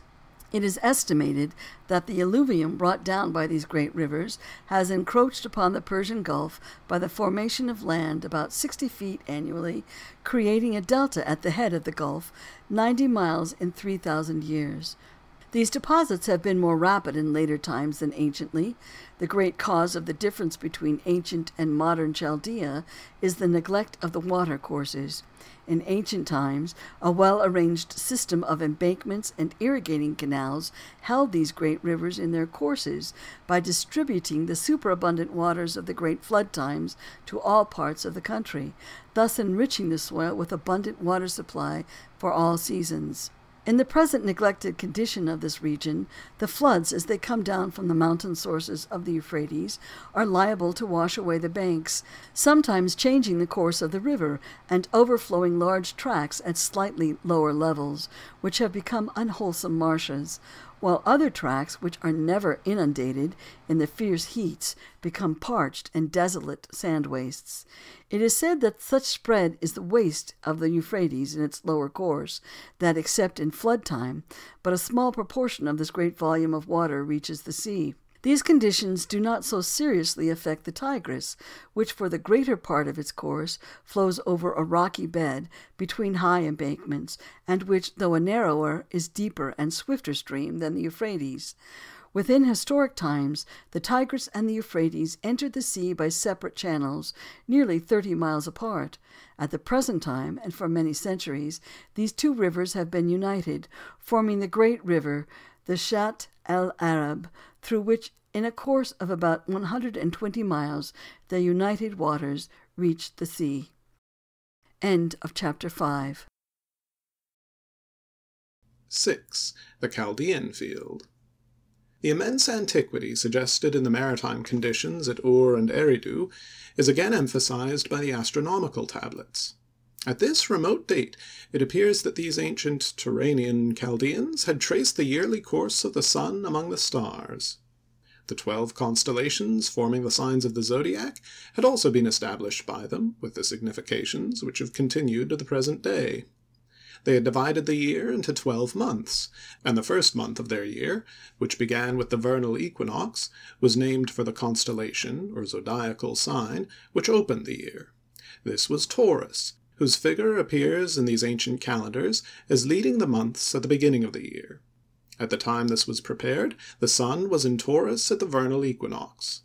About 2500 B.C., the sun entered Aries at this period of the year, while the date when the sun entered Taurus at the vernal equinox was 47 B.C. Other evidences from these principal cities of southern Mesopotamia present in the remoter times this land of Sumer as a populous, fertile, well watered, and cultivated country. It was divided into small states, each surrounding a city containing a temple devoted to the service of certain astral divinities, as Ur, the city of the moon god, or Larsa, with its temple of the sun. Near these temples, and accessible from them, were the zigguratas, the temple observatories for astronomical and astrological studies. They also had priestly colleges, schools for scribes, and libraries, as at Erech, which was known as the City of Books.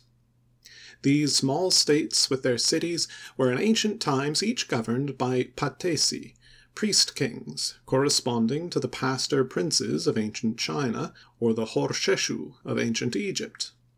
Later on, as certain of these priest kings became more powerful, the neighboring states and cities came under their domination, until finally we find all southern Mesopotamia ruled by kings of Sumer, and northern Mesopotamia by kings of Akkad. Of the explorations which have been undertaken of these older cities of Chaldea, the most extensive are those which have occurred on the sites of the ancient Nippur and at Tel the ancient Shirpulla. The former excavations, which have been conducted under the auspices of the University of Pennsylvania since the year 1888 to the present date, have recovered the most ancient remains as yet discovered of these older civilizations, dating, as estimated by Professor Hilprecht, from a period about 7000 B.C. This includes the enormous structure dedicated to the older Bel, which had been rebuilt by successive monarchs, its later ruins rising to a height of over 100 feet above the plain, while its lower foundations reach as great a depth below. From this and other great buildings in the vicinity were obtained sacrificial vessels, marble and silver vases, objects in gold and bronze, stone door sockets, and over 30,000 clay tablets. These include remains from the earliest periods of civilization to the latest Babylonian history, from the earliest primitive Sumerian rulers to the latest Semitic kings. They give records of powerful kings as rulers of Akkad during the two millenniums preceding the reigns of the great Sargon and his son Naram Sin. Of these two monarchs a great number of inscribed objects have been obtained, some of the most important relics as yet discovered verifying inscriptions found elsewhere of the extent of their power. Remains were also found here of later kings of Ur and other cities of this region, whose names elsewhere appear as great builders or restorers of ancient temples.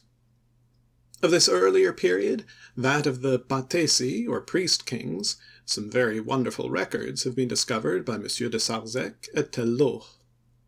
The group of mounds of which Tel Loh is the chief is the site of a very ancient city in southern Mesopotamia, the ancient Zirgul, or Sirgulla. It is situated between the Tigris and Euphrates, near the junction of the former river with the Shat el Hik, a small river which flows southwesterly to the Euphrates, connecting the waters of those two great rivers. The mound of Tel Loh, the mound of the idol, formed part of the royal quarter of the ancient city, rising at this point forty feet above the plain. It was in this locality that in 1880 to 1881 M. de Sarzec, French consul at Bagdad, who was carrying on excavations in this region under the direction of the French government, came upon ten statues in the ruins of a very ancient structure. This proved to be the royal residence of an ancient king of Zirgul, the Patesi, or priest king, Gudea, whose date is fixed by various authorities at about 4800 B.C. The statues were nearly life size, and all were headless. Two heads soon after were found in the ruins, one of them turbaned, and the other uncovered and shaved, supposed to represent the king as priest. The type of feature reproduced in these finely sculptured heads is unmistakably Turanian, of the Tartar branch of this great family, while the turban, another characteristic indication in costume, might serve for a copy in sculpture of the headdress worn by some living representative of this race in Central Asia at the present day. All these statues were inscribed, nine of them with memorials of Gudea, and the tenth of Urbahu, an earlier king who ruled in Zirgul before Gudea.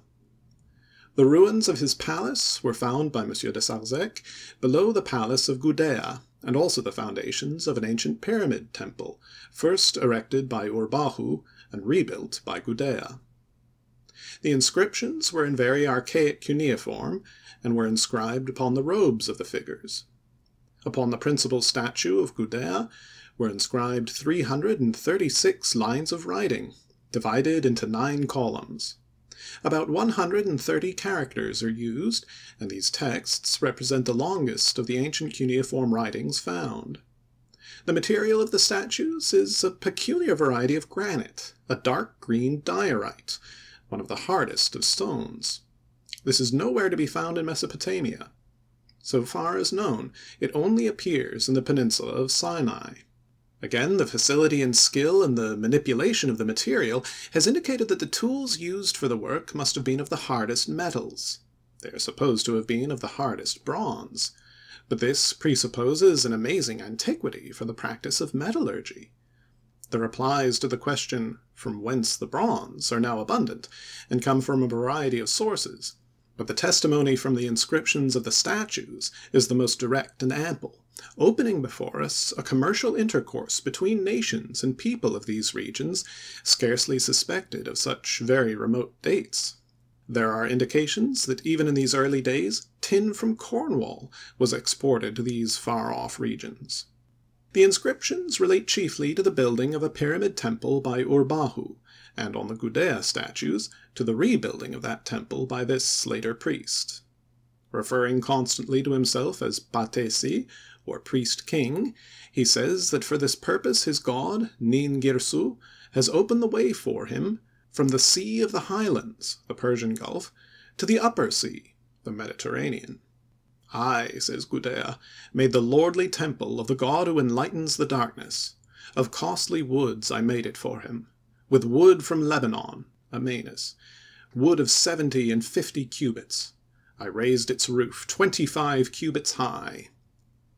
From the copper and silver mines of the Taurus, near the Great Pass, the gate of Syria, copper was brought for the great pillars; marble also from the mountain of Canaan to Dalim, in Phoenicia, for the foundations.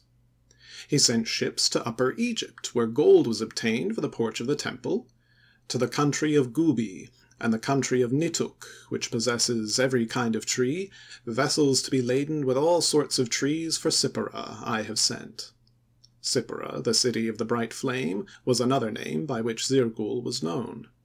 Reference to this comes in the inscriptions concerning the god who enlightens the darkness. Then of his statues he says, Strong stone being brought from Magan (Sinaitic peninsula), I made an image therewith, that my name may be remembered gloriously. Again of this statue he says, Neither in silver, nor in copper, nor in tin, nor in bronze, let any one undertake the execution. An image yielding none of these, no man will demand as spoil. Made of hard stone, may it remain in the place thereof forever. These statues thus had a peculiar religious significance. Placed in the sacred temple, always before the god to whose service they were dedicated, they were supposed to represent the king constantly in life, and, like the Ka statues of the Egyptian kings, to be the residence of the soul of the departed prince, which was thus ever reverently before his god. Thus we can understand the terrible curse pronounced by Gudea upon whosoever should remove this statue from its place. This and the companion statues from Tel Loh were nevertheless sent to Paris and placed in the Louvre, where they will receive more distinction than has been accorded them for ages. Perhaps this, and also the fact that the inscriptions on them could not be read until they were placed where competent Assyriologists could have access to them, may induce the Ka of Gudea to revoke his maledictions, should they threaten this later disturber of his repose.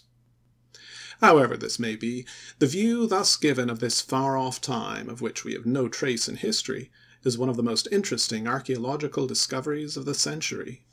Here, long ages before the time of Hiram, king of Tyre, the friend of David and Solomon, long ages even before the days of Abraham, the ships of Gudea were navigating the seas from the trading ports of Ur and Eridu, then at the mouth of the Euphrates on the Persian Gulf, coasting down the shores of the Arabian Peninsula, which they circumnavigated, into the waters of the Red Sea, sailing northward to Magan, the enclosed port on the peninsula of Sinai where the diorite for the statues was obtained, and perhaps copper also from the Wady Magara, the land of bronze; then to various trading ports of the Egyptian coasts for gold from Meroe and for timber from Ethiopia, and then for the return voyage.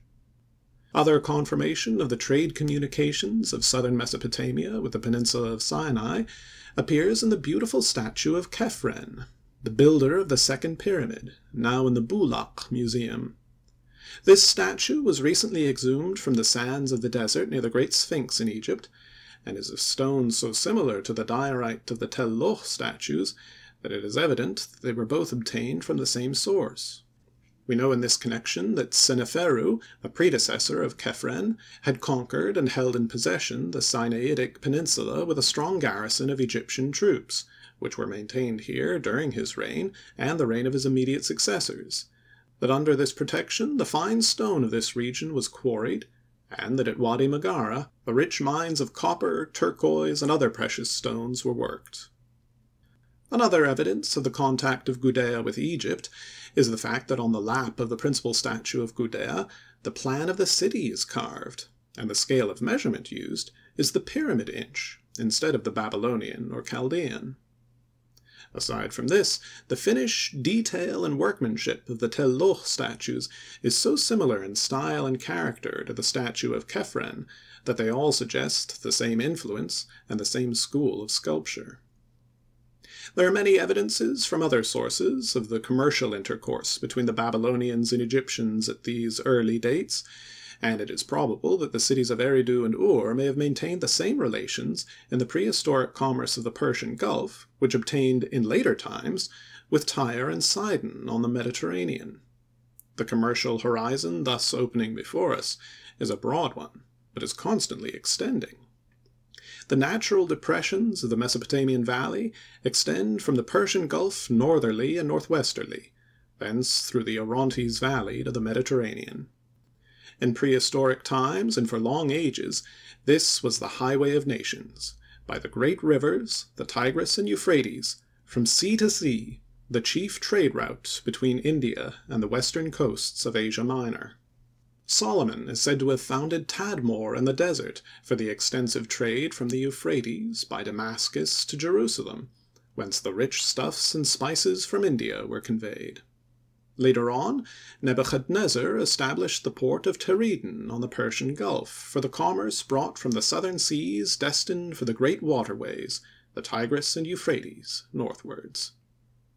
These facts are comparatively modern history to Gudea and his days, when the waters of the Persian Gulf washed the shores at Eridu, while ships from India, Ceylon, and the different trading ports on the Red Sea unloaded their cargoes on the docks of the great maritime city of Ur of the Chaldees.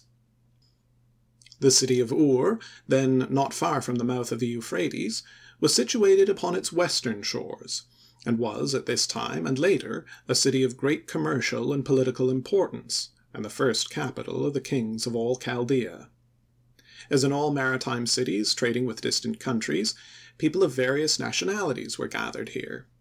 It is not improbable that the name of Ur of the Chaldees may have reference to certain families of foreign stock, the Chaldai or Chaldee, who inhabited the regions round and about Ur, perhaps nomadic tribes from Arabia.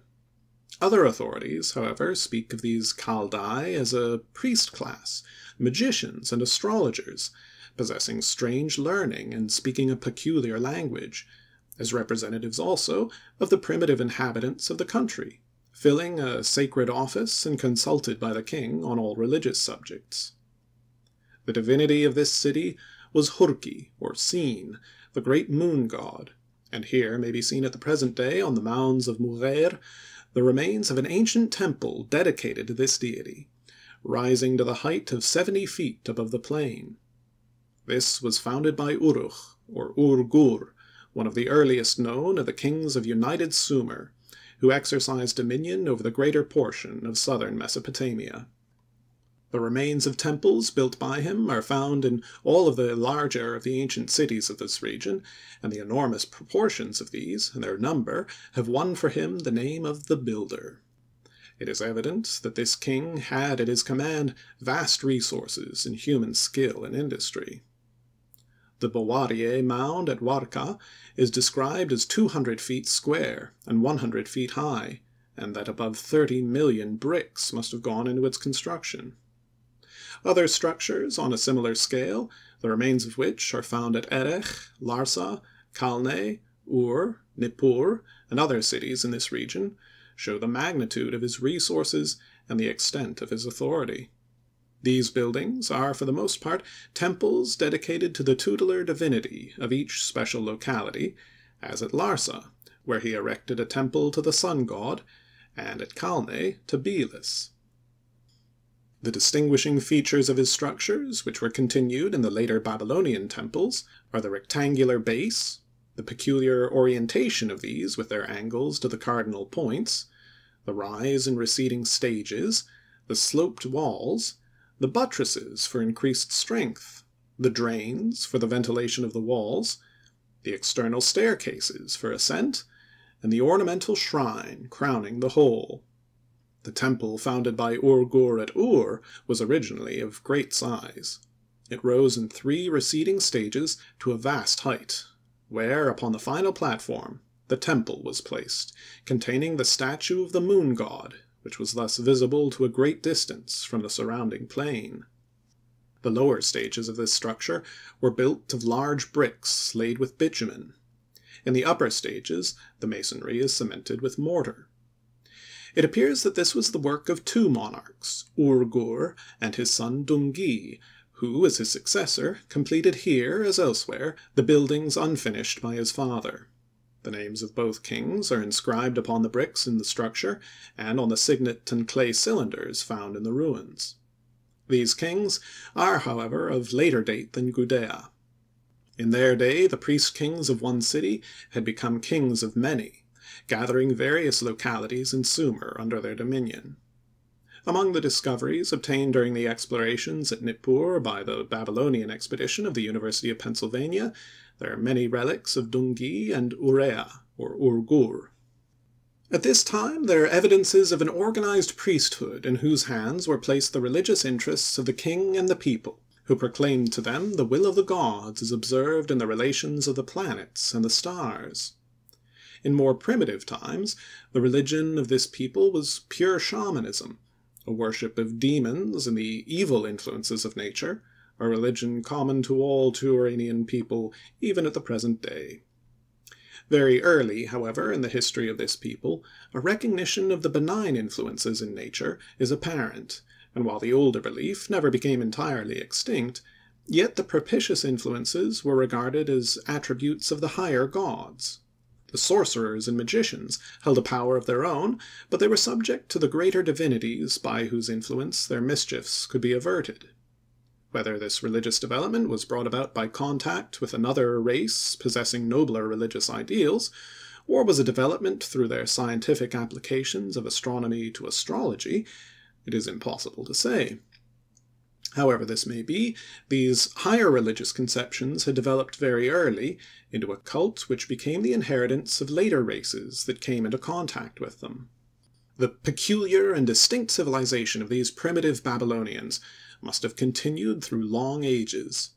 Their system of writing had developed from the simple pictorial lines into the cuneiform, and these signs had become phonetic, expressing sound as well as ideas.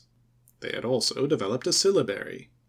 Finally, there are evidences of the gradual increase among them of another race of people. This was a Semitic people, who seem at first to have established themselves in northern Babylonia in the kingdom of Akkad, finally becoming supreme in the land. About 3800 B.C., the kingdoms of Akkad and Sumer are found united under Sargon I, a Semitic king. There are indications of Akkadian or Sumerian kings who ruled over the separate kingdoms of Akkad and Sumer at earlier and later dates, but the main course of testimony after Sargon I tells of Semitic kings as rulers in northern Babylonia or Akkad, and a Semitic influence dominant there. The influence of such close social contact brought about material changes in the life, literature, and language of both people. In Akkad, which came first under Semitic influence, the old language rapidly declined. In Sumer, or southern Mesopotamia, which continued much longer under the ancient rule and influence, the old language held its own down to comparatively recent times. The Semites, however, seem to have received from the Akkadians more than they gave. The arts and sciences and civilization of this ancient people became the arts and sciences and civilization of the Semitic, Assyrians, and Babylonians. They appropriated the religion and gods of these early Chaldeans. They became heirs of their literature, and they adopted their system of writing. The most curious instance of these various adoptions of the Semites was the Sumerian syllabary. Now, in applying the syllabary of one language to the uses of another, it might be expected that the signs expressing a certain syllabic sound in one language would be used to express the syllabic sounds in the other. This, however, was not the case in this instance. When the Semites adopted the old Akkadian syllabary, they used these signs quite as often to express the Semitic sounds of the original ideographs as for syllabic signs. As an instance of this curious example of polyphony, Mr. Taylor gives the cuneiform sign, which in the primitive pictorial form represented an ear. The name of ear in Akkadian is pi. This sign had another syllabic value, signifying a drop of water. When the Semites adopted this sign to their uses, they retained the phonetic value of the sign as b. They, however, used this sign also to express the sound of the Semitic words esnu, an ear, and giltanu, a drop of water.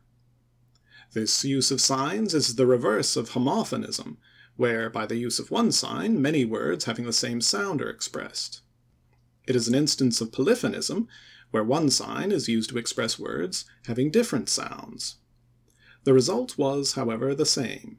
It led in both cases to the increase of determinatives and other explanatory signs to indicate the word to be expressed by the sign. The use of ideographs as determinatives was evidently suggested by the Sumerian syllabary, but the language of the Sumerians was simple, requiring fewer signs to express sounds. On the contrary, the Semitic language was more copious, possessing a greater variety of syllabic utterances. It will thus be seen that when the decipherment of the Assyrian cuneiform was first attempted, scholars could not for a time master the curious complications they found. The Assyrian syllabary could only be explained as a foreign importation, not as an evolution from a Semitic speech. As Professor Sayce says, like the discoverers of the planet Uranus, they had to presuppose another language to account for its origin and appearance. The decipherment of the older cuneiforms soon after, and the discovery of the bilingual texts, where copies from the old Sumerian originals were placed side by side with the Semitic translations, soon explained the sources of confusion, the original values of these signs, and their application to another language. End of 6. Chapter 7 Mesopotamian Influence of the great rulers in Mesopotamia, both Turanian and Semitic, who stand out most distinctly in the records of this remote past, are the Turanian prince Gudea, about 4800 B.C., the great Sargon I and his son Naram Sin, Semitic princes both, to whom the date 3800 B.C. is accorded, and the Arabian prince Khammuragas, or Hammurabi, the founder of the city of Babylon and contemporary with Abraham. The date now given for Sargon I is 3800 B.C. Long before this date, various families of Semitic race had evidently made their appearance in the land. Phoenician traders from the Persian Gulf, or nomadic tribes from the Arabian borders, Semitic families attracted hither by the rich fertility of the Mesopotamian plains. These were Sabaeans, perhaps, with faint, far off remembrance of the one God, ruler and creator of the universe, but now worshippers of the stars, the abodes of ministering spirits. At this time in Sargon's reign, long before the date accorded to Uriah, the builder, and the new empire arising in Akkad, we find the early beginnings of the Assyrian people. There was as yet no Assyria or Assyrians. The ancient Turanian capital of Akkad was named Ushar or Ashar, signifying watered plain, but this had not yet given its name to the region or the country. Sargon's new capital was Agane, or Agade, of Akkad, while Nineveh, the mighty of the coming kingdom, was as yet but a collection of fishermen's huts on the swift flowing Tigris. As yet there was no kingdom of Babylonia and no city of Babylon. This region was situated in the northern portion of Sumir, south of Akkad, and was at first designated by the Turanian name Gar Dunyash, or Kar Dunyash, the garden of the god Dunyash. The site of the future great capital was then called, either by its more ancient Turanian name Tintirka, signifying tree of life, or its later Akkado-Sumerian name Ka-Dimera, Gate of God. In later times, this name translated into Semitic was Babalu, Babylon, which finally became the name of the whole Sumir south of the Persian Gulf as Babylonia. At the date of Sargon of Akkad, Sumir or southern Mesopotamia was chiefly Turanian. The displacement of the Mongol peoples by the Semites in this region had not at this time obtained. That fusion of races which so distinctly distinguished the Babylonians of the latter area from the more purely Semitic Assyrians had scarcely begun. The Babylonians, as a distinct people under this name, do not make their appearance on the stage of history until over fourteen centuries later than Sargon, in the time or a little earlier than Hammurabi or Khammuragas, about 2300 BC, at the date accorded to Abraham. It is probable that Semitic people had settled in this region long previous to the reign of Sargon, but it was not until the period of Hammurabi, who at first was simply king of Gar Danyash, that the Semitic element dominated in Babylonia. This powerful prince, who became in time master of all southern Mesopotamia, was the founder of the city of Babylon, from which the country and the people received the names Babylonia and Babylonians. Returning to Sargon, we find in the Ninevite remains that in this earlier time he had founded one of the most famous libraries of ancient Mesopotamia. This was at his new city of Agane, or Akkad. The literature of this library was entirely based on that of ancient Sumer. It consisted completely of translations of these older books into what we may call Assyrian, or were copies of the older books in the old language of Sumer. This older language was to these Semitic Assyrians the language of the learned, the classic tongue of the time, bearing the same relation to the Assyrian as do Greek and Latin to modern literature. It was then even more important to the Semitic student, as it included all of learning which in Mesopotamia had as yet obtained literary form. These ancient texts were copied on clay tablets, with translations from the language of Sumer into Semitic, either between the lines or the text in the old language in one column and the translation opposite. For further aids to students, vocabularies were compiled, giving Akkadian word and the Assyrian translation also syllabic forms, and it is by these wonderful literary aids, especially wonderful when we consider their antiquity, that scholars of today are able to read this ancient Turanian speech as readily as the Semitic Assyrian language of Sargon's reign. The systematic methods adopted in this library are also remarkable. Doubtless Sargon's librarians introduced ideas of their own into the arrangement of this literature, but they had evidently adopted methods long in use in the more ancient libraries of Erech, Larsa, and other cities of southern Mesopotamia. As instances of this literary undertaking, the great work on astronomy and astrology, called the Observations of Bel, which long ages after Berosus translated into Greek, was by order of Sargon compiled for his library. It consisted of 72 books, and a certain place in the library was set apart for this. These tablets were arranged and numbered according to the subject.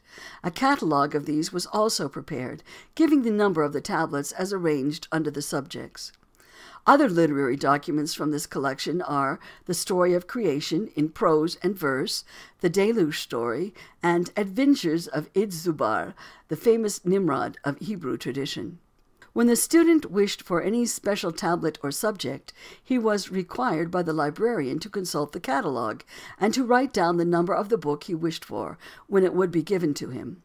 The librarian of today, to whom the same system and methods are so familiar, can scarcely claim these as modern improvements, but may well exclaim with the philosopher of old, "There is no new thing under the sun." Another great work, prepared for the library of Sargon of Agade, was the theological collection in three books and two hundred tablets. This consisted of magical texts and incantations from the primitive religion of Turanian Chaldea, which still held power and influence as magic and divination. It included also the literature of the later development of Sumerians into higher spiritual conceptions. This literature of the later period comprised hymns of praise, invocations to the gods, and penitential psalms, which in spirit and form bear a remarkable resemblance to the confessions of the later Hebrew psalmist. Perhaps we may trace in this contact with Semitic thought and influence, long before the Semites appear as an established people in the land. There are two distinct periods in the religious development of the Turanians of Chaldea the era of shamanism or demon worship, and later Sabaeanism, the deification of the planets and the stars, or the benign influence of nature. As early as Gudea they had entered upon this later period of religious development, and now, under the influence of Sargon, occurred a blending of these systems with Semitic conceptions which continued the established religion of the Assyrians and the Babylonians to the latest times. The latent tendencies of the Semitic mind seem to have been toward monotheism, while this did not prevent their recognition of the gods of the nations with whom they came in contact, and their frequent adoption of these as objects of worship, this tendency is yet manifest. With the later Assyrians they united in the adoption of their national deity, Ashur, with the Moabites in Shamash, with the Hebrews in Elohim or Yahweh, and with them all the Supreme One who united in himself the great attributes of all the gods, the creator of all things, the arbiter of all human events. The Turanian Chaldeans, on the other hand, were unreserved polytheists. Their gods were as the sands of the sea for number. Each city with its surrounding locality had its special god, and the greater the city the greater the god, the more magnificent the temple dedicated to his worship, and the more powerful its priesthood. This was the case in the city of Ur, where Harud, or Sin, the moon god, was the local divinity.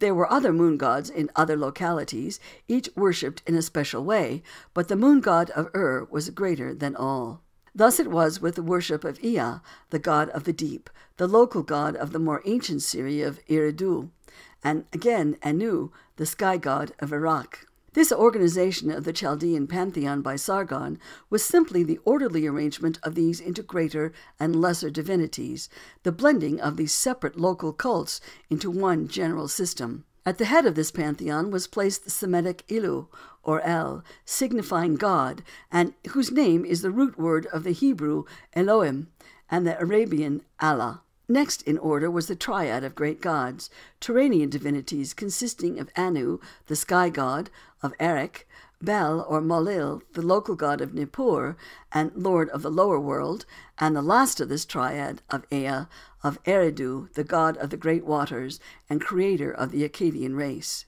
The position of these gods in this triad is explained by local circumstances. At the time of this new arrangement of the Chaldean deities, Erech was a prominent city of southern Mesopotamia. It had a richly endowed library, perhaps the greatest collection of literary treasures at this time known in the ancient world. This was greatly enlarged by Sargon, who, perhaps from motives of policy toward his Chaldean subjects, thought it wisest not to enrich his library at Agane at the expense of this, the oldest of the libraries of southern Mesopotamia. It is also possible that some of the literary treasures obtained by him in other decaying cities of this region may have been placed in the library at Erech for the same reason, as it offered better opportunities for the safe deposit of these ancient documents. At any rate, we find that when the Assurbanipal founded his great library at Nineveh, many centuries later, and at the ancient cities of Chaldea were ransacked for their literary treasures, it was at Erech that he reaped the richest harvest. As suggested, Erech was at the time of Sargon's reformation of the gods of Chaldea a populous and wealthy city. It possessed a powerful priesthood devoted to the service of Anu, the sky god, and the local god of Erech. It possessed a powerful priesthood devoted to the service of Anu, the sky god, the local god of Erech, who for these reasons was placed first in the trinity of gods, for the more ancient and sacred divinities of Turanian Chaldea. Nippur, the second capital of Chaldea, was also at this time a wealthy and populous city. Here was located a temple to Belus, the older Bel, identical with Molil, the lord of the lower world, and as the local god of Nippur, Bel became the second god in the Trinity.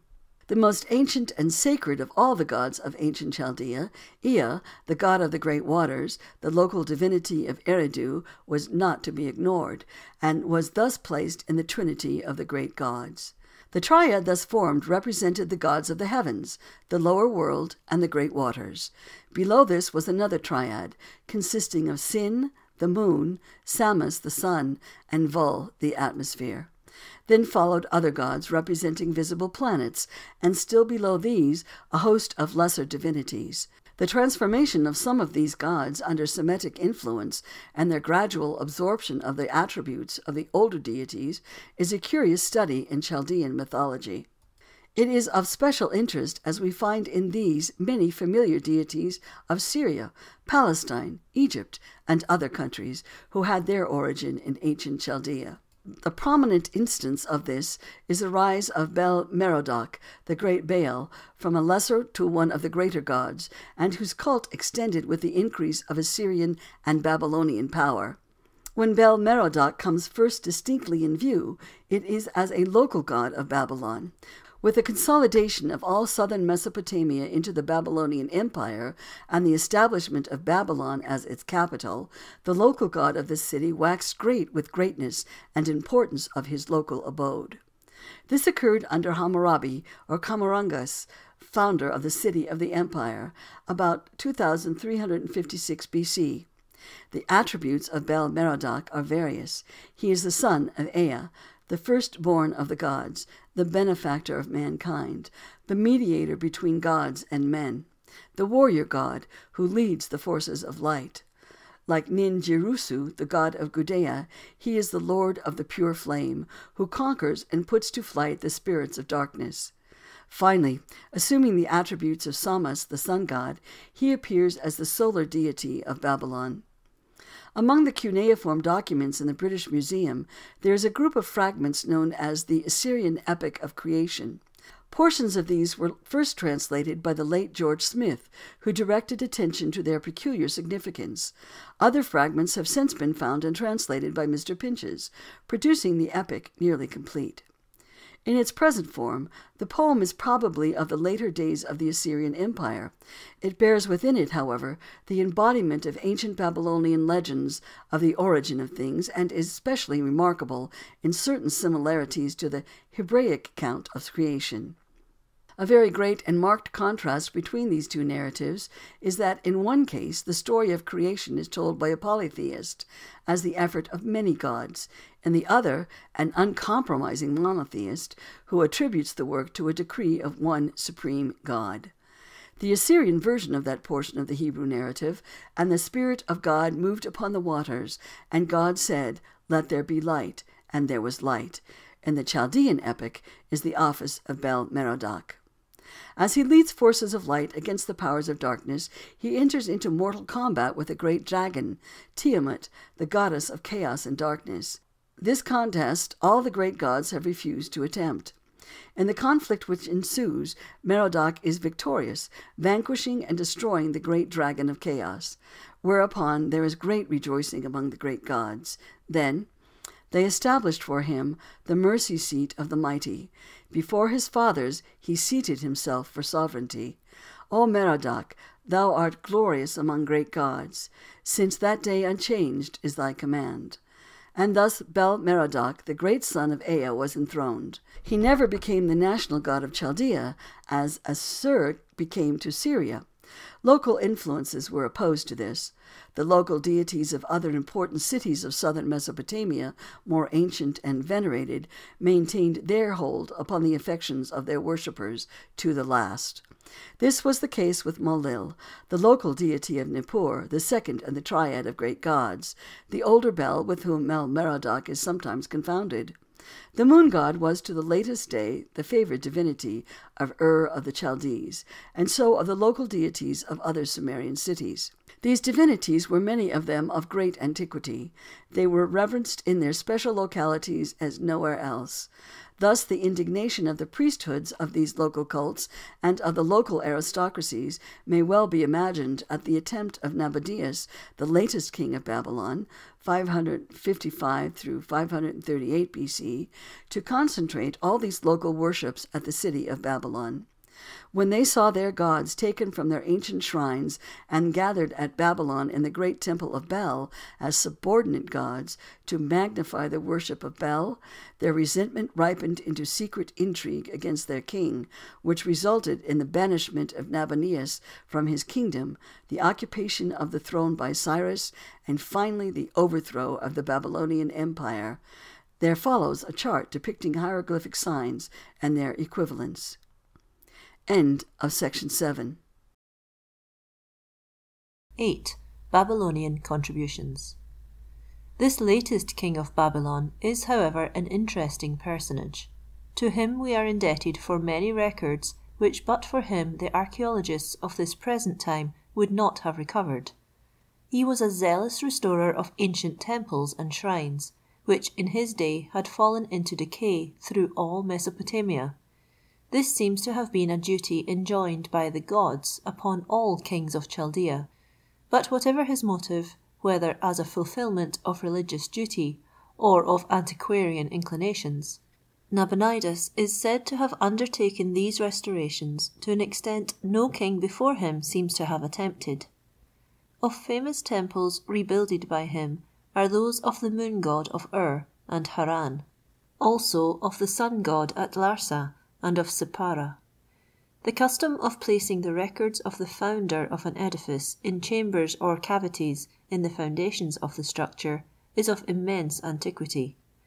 These records were inscribed generally on clay cylinders, and usually ended with injunctions to any future king who might, in rebuilding, come upon the secret hiding place of the cylinders, that these records should be replaced in their original depository with religious rites. Failing to do this, the wrath of the gods is invoked upon his sacrilegious head. It was in this way that Nabonidus came upon some very ancient and important documents. As in all cases he followed his discoveries with the record of the event upon inscribed cylinders deposited by him in the foundations of the new structure, the value of these to later explorers can scarcely be estimated. It was during his excavations in the foundations of the Sun temple at Larsa that he came upon a cylinder inscribed and deposited by Hammurabi, or Khammuragas, at the rebuilding of a more ancient temple on the same site. Hammurabi states upon his cylinder that this more ancient temple was founded by Uriah, or Ur-Gur, 700 years before his time. On annalistic tablets of Babylonian kings in the British Museum, Khammuragas is mentioned, and the date accorded to him B.C. 2315 or the end of his reign B.C. 2259, which gives the date of Uriah the builder as about 2959 B.C. The most important of the discoveries of Nabonidus was, however, the finding of the foundation cylinder of Naram Sin, the son and successor of the great Sargon of Akkad. This occurred at the time of his restoration of the Sun temple at Sippara, near the ancient city of Agane. Of this Nabonidus says, I brought the sun god from his temple and placed him in another house. I sought for its old foundation stone, and eighteen cubits deep I dug into the ground and the foundation stone of Naram Sin, son of Sargon, which for thirty two hundred years no king who had gone before me had seen. The sun god, the great lord of E Bara, let me see, even me. Before the discovery of the cylinder of Nabonidus, the date of Sargon of Akkad was uncertain. He had often been regarded as identical with the later Sargon, the Assyrian king who carried the ten tribes of Israel into captivity about 722 B.C. The numerous records remaining of the earlier Sargon had made the identity of these two monarchs confusing and impossible, which was cleared away by the discovery of the records of Nabonidus. This king had data for his statements which subsequent discoveries have confirmed, thus giving to Naram Sin the date of thirty two hundred and fifty years before Nabonidus, which was 550 B.C., and allowing for the long reign of Sargon I, we have the immense antiquity of B.C. 3800 for the time of the great Sargon of Akkad. The site where this important discovery was made is one of the two Sipparas, situated on opposite sides of the royal canal, not far from the Euphrates, and running parallel with the river. These two cities were anciently known by their rival sanctuaries, the one dedicated to the worship of the sun, and the other to the worship of the moon, and were known as the Sippara of the sun and the Sippara of Anuit. The Sippara of Anuit is the supposed site of the ancient Agade of Sargon, it was, however, at Sippara of the Sun that Naram Sin, the son of Sargon, founded the temple which was discovered by Nabonidus and rediscovered by Mr. Rassam a few years ago. While making excavations in a mound near the supposed site of Sippara, Mr. Rassam made his way into some rooms of a vast structure which he found to be a temple. Passing on from room to room, he at last entered a smaller chamber which was paved with asphalt. As this kind of pavement was unusual in Babylonian and Assyrian structures, he concluded this must be the secret depository of records. Having broken into the pavement, he came finally upon a sealed casket or chest of earthenware about three feet below the surface, in which was found a stone tablet, beautifully inscribed, and also other documents. This stone tablet was the archive of the famous Sun temple, as was proved by the inscription on it, and also by the documents found with it, which gave the names of the founder and the restorers of the temple. The tablet had upon it a representation of the sun god, seated upon a throne, receiving the homage of his worshippers, while above him the sun disk is suspended as from heaven by two strong cords held up by two ministering spirits. The inscription declares this to be the image of Shamash, the great lord who dwells in the house of the sun, which is within the city of Sippara. This established at once the site as that of ancient Sippara, which to this time had been doubtful, and may lead to further discoveries of still greater antiquity on the site of the Sippara of Annuit, the supposed site of the ancient Agane. In the records remaining of Sargon, from various localities, it is stated that he built here a palace, which after some important military campaigns he greatly enlarged, that he built also a magnificent temple to Annuit, and that afterwards a statue of him, Sargon, was here erected, inscribed with memorials of his birth and career. The tablets in the British Museum containing these records are probably copies of these older inscriptions, the originals not having as yet been discovered. They record Sargon's invasions of Elam with victorious armies, another successful campaign in Syria, the subjugation of all Babylonia, and the peopling of his new city Agane with the conquered nations. His longest and greatest campaign was a later invasion of Syria at which he was absent from his kingdom for three years. At this time he penetrated to the Sea of the Setting Sun, the Mediterranean, conquering all the countries through which he passed. In the rocky cliffs of the Asian shore he left inscriptions recording his triumphs, and memorial statues of him were erected in various places. It is possible that he crossed to Cyprus, where relics of him and of his son Naram Sin have been found. He seems to have had ambitions of universal empire, and it is stated that after his return from this expedition he appointed that all places should form a single kingdom. Of this he says, Forty five years the kingdom I have ruled, and the black Akkadian race I have governed.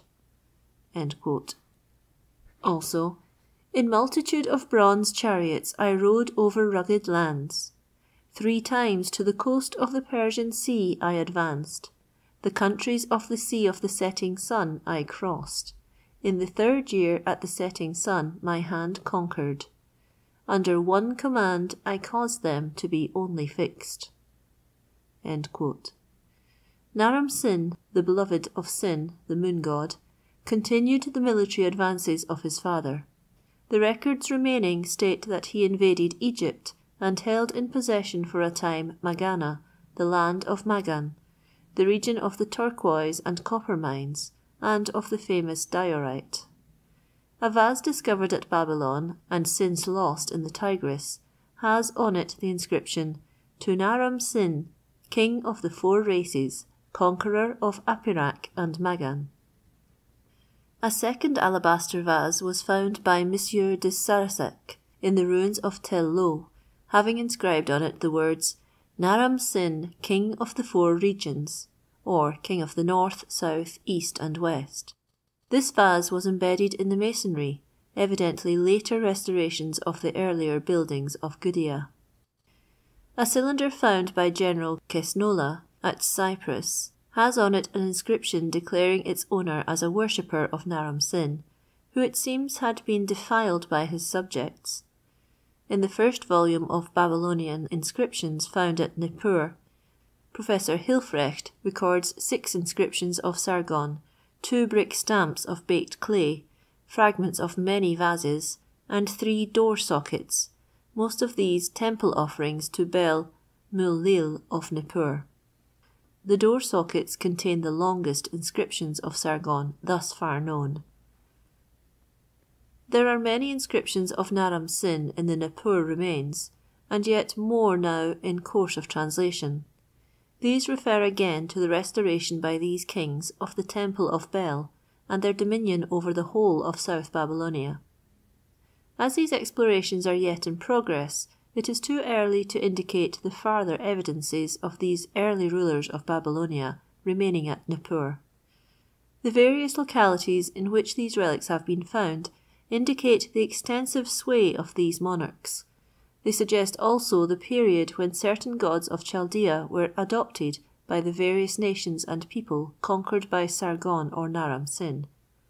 Sinai, the mountain of Sin, the moon god, may be a reminiscence of the invasion of Arabia by Naram Sin, directed by this divinity.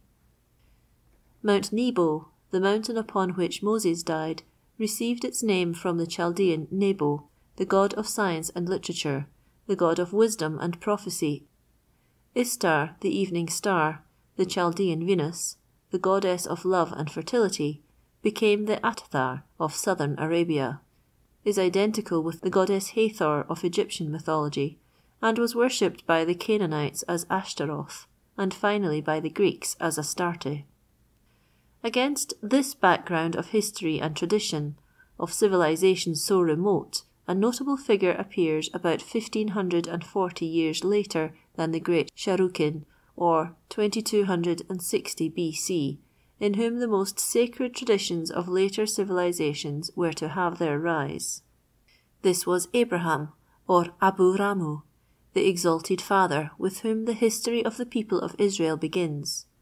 A Semite and a native of Ur, his historical position is an important landmark in the story of letters. Of special significance in this connection is this early contact of Abraham and his family with the land and people of Chaldea, the lingering survivals of Akkadian speech and traditions in Hebrew language and literature. Again, when Abraham left Chaldea to found a great nation in another land, writing and literature could not have been unknown to him. The constant use of cuneiform signs in architectural structures, in business forms, and in every department of social and industrial life, and the ever present schools for scribes in all the great cities of Mesopotamia made this impossible. The art of writing was no new thing to this young Semite prince. It was an art even then hoary with age. With all to whom Abraham is a historic personality, the story of his life and times, as recorded in the biblical narrative, is illuminated as never before in the testimony of these cuneiform documents from old Chaldea. The biblical narrative does not touch upon the causes which led Abraham away from the land of his nativity. Jewish and Arabian traditions, however, state, and there may be a grain of truth in these traditions, that this was the result of the revolt of Abraham against the idols of Ur, and his refusal to acknowledge them as divine, that this brought upon him and his father's family a storm of persecution from the priests and people, which ended in their banishment from Ur, and their departure for a distant country. The references in the scripture narrative to Terah, the father of Abraham, as an idolater, and the Arabian tradition as a sculptor or maker of idols, is significant in these connections. The destination of this family was Haran, at that time a Turanian city in northern Mesopotamia, an important frontier station on the high road to Syria and Palestine, and the various roads to the fords of the Tigris and Euphrates. The word Haran is from the Akkadian Haran, a road, and was thus named for its position. It is said to lie in a region of exceeding fertility and beauty. Its fine free air and commanding views make it the delight of the Bedouin tribes who find here luxuriant pasturage for innumerable flocks and herds. Previous to the time of Abraham, there seems to have been at Haran, and in the region round about, a considerable colony of Semitic people, as indicated by Assyrian inscriptions. Since Abraham's date, Nahor's city and the Well of Rebekah, located near Haran, bear these ancient names to the present day. The deity of Haran was then the moon god, the same deity as worshipped at Ur, always a favourite divinity with all Semitic people, and which might have been an influence that drew Terah there. During the remaining years of Terah's life, Abraham remained in this locality, prospering greatly, but with his father's death his long conceived purpose of establishing himself in Canaan was finally achieved. After Abraham's arrival in Canaan with his numerous household, his princely retinue, and his great possessions, we find him again in contact with certain Babylonian princes who have invaded Canaan and have obtained sovereignty in various localities. The fourteenth chapter of Genesis gives account of the battle of Abraham with these kings of Babylonia for the rescue of Lot his nephew, in which he put the invaders to flight, establishing peace and security in the land. The names of these kings as given in the scripture narrative are Chedorlaomer, king of Elam, Amraphel, king of Shinar, Arioch, king of Ellasar or Larsa, and Tidal, king of nations. These kings are now identified by Babylonian records, Chedorlaomer, king of Elam, as Kudur Lagomar, an Elamite king of that date, Arioch, king of Ellasar, with Eri Aku, then king of Larsa. Amraphel, king of Shinar, is identified as Hammurabi or Khammuragas, and Tidal, king of nations, as Thorgal, king of Gutium, a region to the north of Elam. The evident correspondence of these kings with Abraham's contemporaries furnish continued evidence of the political contacts of Babylonia and Canaan from the earliest times, and in many ways confirm the historical verities of the early scripture records. Another document reflecting new light from the cuneiform inscriptions is the last exhortation of Joshua to Israel, assembled at Shechem. In the review he then gives of the history of his people, he says, Your fathers dwelt on the other side of the flood, the Euphrates, in the old time, even Terah the father of Abraham and the father of Nahor, and they served other gods. And I took your father Abraham from the other side of the flood, and led him throughout all the land of Canaan.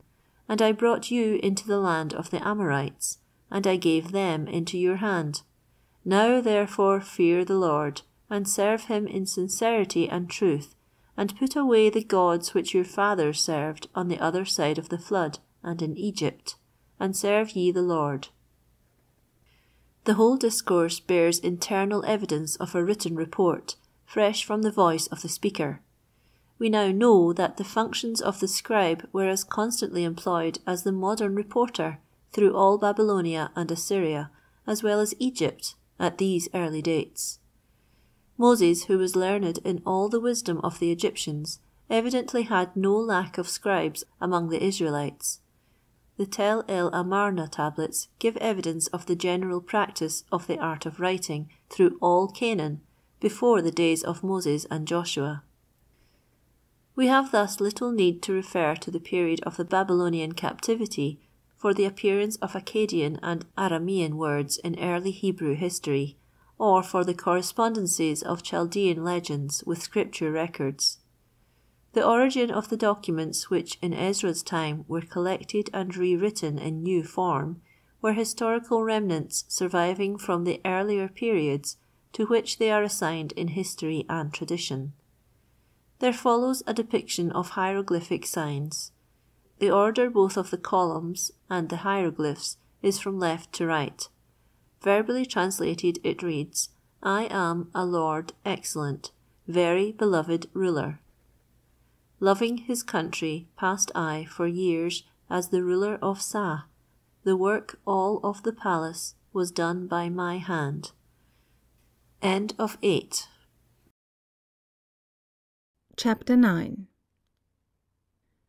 The Semitic Assyrians and the Semitic people of other portions of Mesopotamia had adopted the cuneiform script and the Turanian syllabary as early as the days of Sargon. From this time onward, and until the days of Assyrian and Babylonian supremacy, these signs were the common medium of literary intercourse among the nations of Western Asia, and expressed various languages and dialects. The famous documents recently found in Egypt, known as the Tel el Amarna letters, indicate the extensive use of cuneiform writing in the fifteenth century before Christ, or about 720 years after Abraham. The story of the discovery of these documents is still another among the many romances which archaeology so constantly and so unexpectedly presents. The site of the modern Arab village Tel el Amarna is about 190 miles south of Cairo on the eastern bank of the river Nile.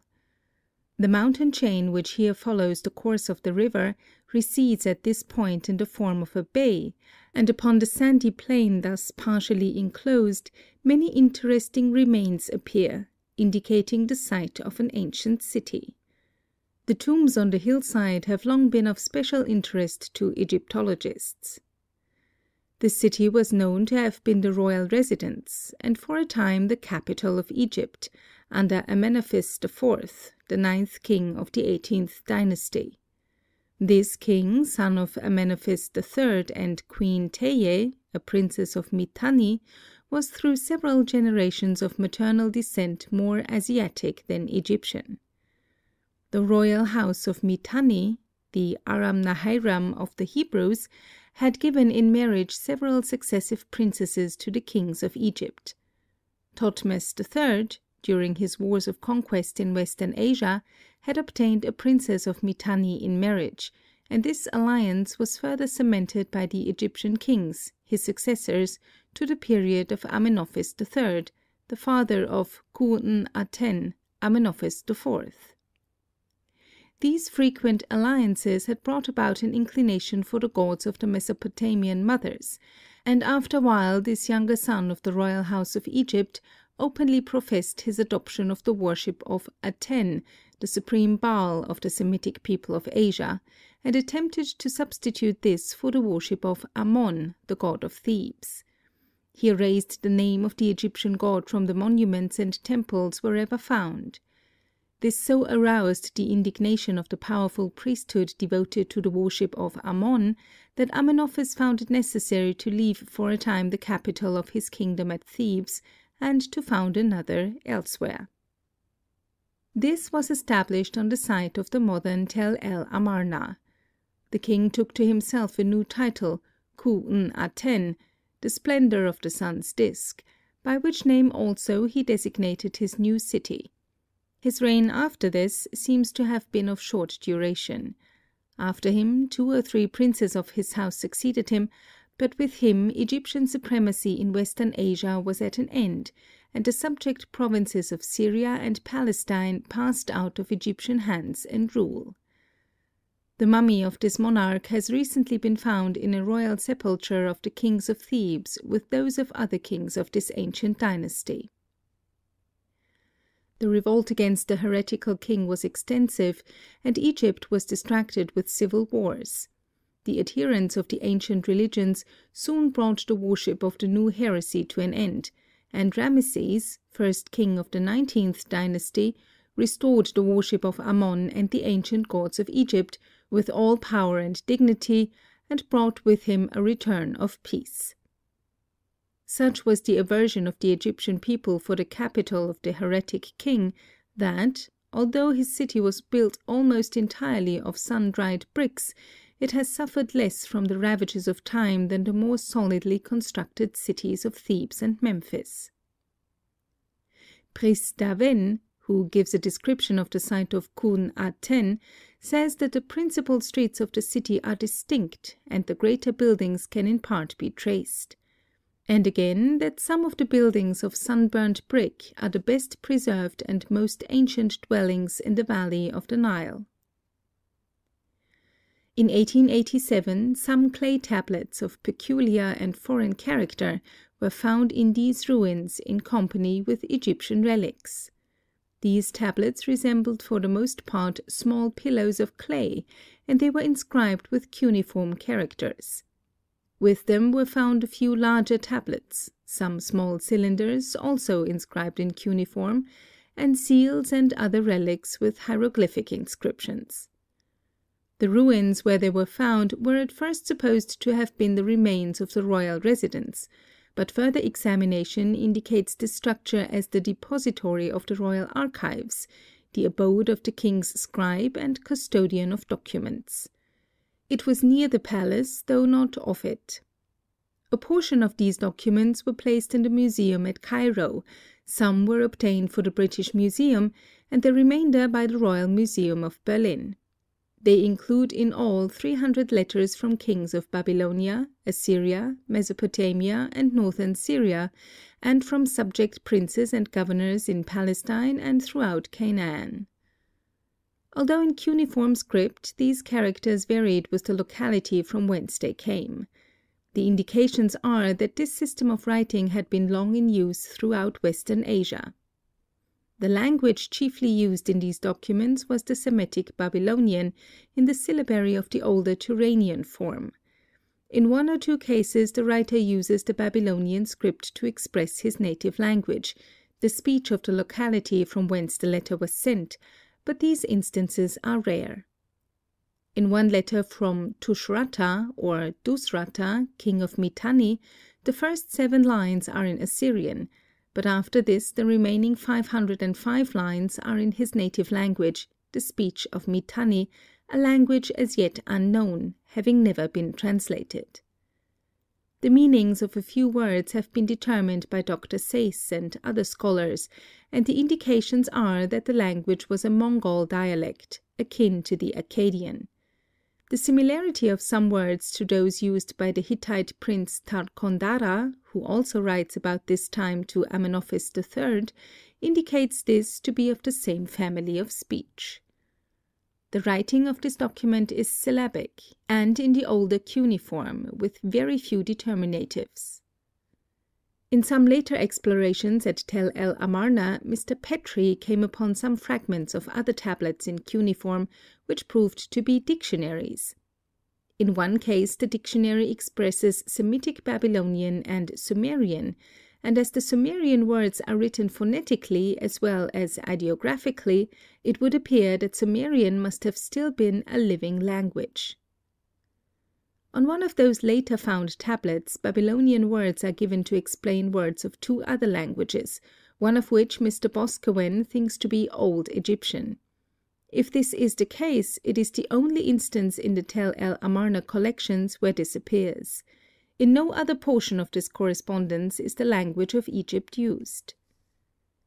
Throughout the vast region represented by these letters, including various races and forms of speech, from the upper Euphrates to Babylonia, from northern Syria to southern Palestine, everywhere the Babylonian language and Babylonian script were the common medium of literary intercourse in this correspondence. The fact that many of these letters seem to have been individual productions and not the work of special schools of scribes indicates the widespread influence of Babylonian culture and the opportunities for education existing throughout the Orient in the century before the Exodus. There are evidences that the schools and libraries of the ancient cities of Mesopotamia had their counterparts in the cities of southern Palestine, as for instance Kirjath Sepher, the city of books, to which we find later reference as Kirjath Sanneh, the city of instruction. The glimpses afforded of social and political conditions in various localities at the period of this correspondence are of historical importance, furnishing data and verifying documents found elsewhere of the same persons and events. We have in the Tel el Amarna collection letters from Burraburyash and his father, kings of Kardungyash or Babylon, to Amenophis III of Egypt, in which reference is made to the Egyptian princess, sister of Amenophis, wife of the king of Babylon. Burraburyash also wants gold, much gold, from the Egyptian king for the building of his temple, and complains that this does not come to him in sufficient quantities. There is one letter from the king of Assyria, and many letters from Tushratta or Dusratta, king of Mitanni. These latter refer chiefly to the princesses of Mitanni, wives of the Egyptian kings, Queen Teye, mother of Amenophis IV, and the princess Kirgippa, whose magnificent dowry occupies a great portion of some of the largest tablets in the collection. The lists include horses and a chariot covered with gold, ornaments of silver and gold of finest Babylonian workmanship, decorated with precious stones, and rich garments of variegated stuffs. Upon the death of Amenophis III, this princess became the wife of Amenophis IV, his son, who thus continued his alliance with the powerful and wealthy Tushratta, king of Mitanni. Some of the most interesting letters in the collection are from Syria and Palestine, from the native princes and governors of cities, at this time subject to the Egyptian kings. The correspondence of Ebed tob, priest king and governor of Jerusalem, is of special interest. Jerusalem was at this time a city of the Amorites, a Semitic people of Palestine, and its name in these documents is Uru Salim, signifying the city of the god Salem or the god of peace. Ebed tob impresses the fact upon his royal correspondent that though subject to the Egyptian king, he is king of Uru Salim by an oracle of the god of Salem. He was thus priest king of the city by divine appointment and not by heredity. This statement suggests that earlier king of Jerusalem, Melchizedek, who, as king of Salem and priest of the Most High God, comes forth with bread and wine and blessings for Abraham, the deliverer of the country from its foes, the restorer of peace. The Assyrian form Sar Salem, king of Salem, is identical with the Hebrew Sar Shalom, prince of peace. This again illustrates the application by Isaiah of the title of Prince of Peace to that later Prince of the House of David, who, in a higher spiritual sense than his great prototype, Melchizedek, was yet to be to all nations and people King of Salem and Prince of Peace. The most remarkable event in the history of archaeology has its connections with the Tel el Amarna discovery. Among the letters in this collection addressed to Amenophis IV from the governors of cities in southern Palestine are those from the governor of Lachish. This dignitary was named Zimrida, and his dispatches to the king of Egypt were chiefly upon the political conditions of his province, its dangers from approaching foes, and the necessity of relief from Egypt. It seems that Zimrida was in greater danger from foes within than without, for in one of the latter letters from Ebed tob he alludes to the murder of Zimrida by servants of the Egyptian king.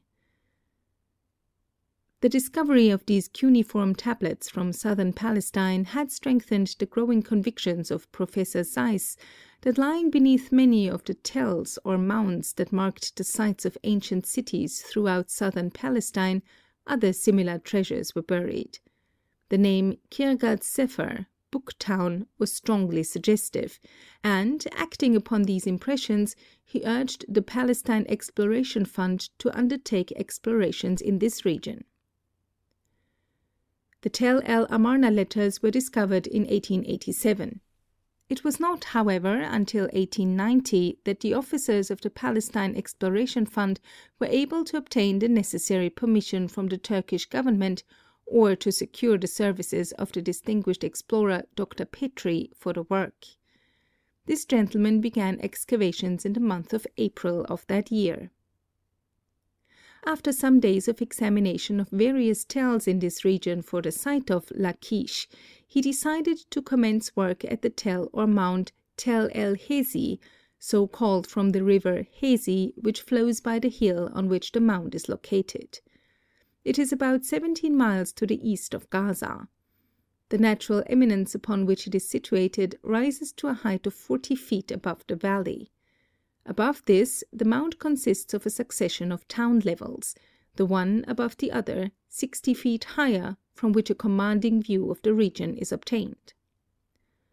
Fortunately for the explorer, the turbulent stream flowing over these declivities has cut this tell on the eastern side from top to bottom, leaving the whole face exposed and revealing distinctly the various city levels of the several periods of occupation the commanding position of the site, the fine springs of water gushing from the hillsides, and the rapid stream affording an abundance of fresh, sweet water, the locality agreeing in so many particulars with the site of ancient Lachish, the evidences also in the hillside of the existence at various periods of ancient important cities, justified his convictions which subsequent discoveries verified. After some months of excavation, Dr. Petrie was obliged to discontinue his work here for engagement elsewhere, leaving further explorations in the hands of Mr. Bliss. The result of Dr. Petrie's labors had been to establish known facts in the history of ancient Lachish. The lowest and earliest town must have been of great strength and importance. The remains of the walls are 28 feet and 8 inches in thickness, of bricks unburnt, with two successive patchings of rebuilding occupying 39 of the 60 feet in the height of the mound. At this level the fragments of pottery were distinct and peculiar, very different from the relics of the cities above, and which, from relics elsewhere obtained, give the period of their use and manufacture at 1500 B.C. The next level indicated a barbaric invasion, when rude huts were piled up, to fall soon after into ruin. After this comes successive strata of Jewish cities until about 400 B.C., since which time Lachish passed out of history and no later relics are found. Of these things Dr. Petrie says, the Amorite pottery extends from 1500 B.C. to 1000 B.C. Phoenician and Cypriot begins about 1000 and goes to 700 B.C. Greek influence then begins and continues to the top of the town. Upon leaving, he pointed out to Dr. Bliss the indications that the lower portions of the tell would bring to light the ruins of a city destroyed by the invading Israelites. Among the early relics found by Mr. Bliss, when the lower stratum of cities was more thoroughly explored, were a number of Egyptian beads and scarabs of the 18th Egyptian dynasty, on one of which the name of Queen Teie, wife of Amenophis III and mother of Amenophis IV, appears. There were also a number of sealed cylinders, some of Egyptian and some of Babylonian manufacture, of the same period or earlier. The most wonderful discovery, however, was to come, verifying the predictions of Professor Sayce and the judgment of Dr. Petrie, but in a way to astonish even these eminent scholars to whom all things seem possible. This was the discovery of a clay tablet inscribed in cuneiform characters similar in size, form, and other peculiarities to the letters from Lachish in the Tel el Amarna documents. It is written in the Babylonian language and with the Babylonian syllabary, and what is still more astonishing, the name of Zimrida appears upon it. It proves to be a letter addressed to an Egyptian officer, received at Lachish about the time Zimrida's letter was sent to the king of Egypt. In this the name of Zimrida, who, according to the Tel el Amarna dispatches, was governor of Lachish, is twice mentioned. Here in Canaan, deep beneath the remains of many cities, and there upon the banks of the Nile, these two fragments of a correspondence have lain through many centuries, waiting for the time when this long forgotten story might be read and explained. The Lachish letter was claimed at once by the Turkish government, and those who have attempted its translation have been obliged to do this from squeezes or impressions of the original document, which in some cases are imperfect, as some of the characters are partly obliterated or on the edges of the tablet. Quite enough, however, is apparent to identify the date and significance of the documents.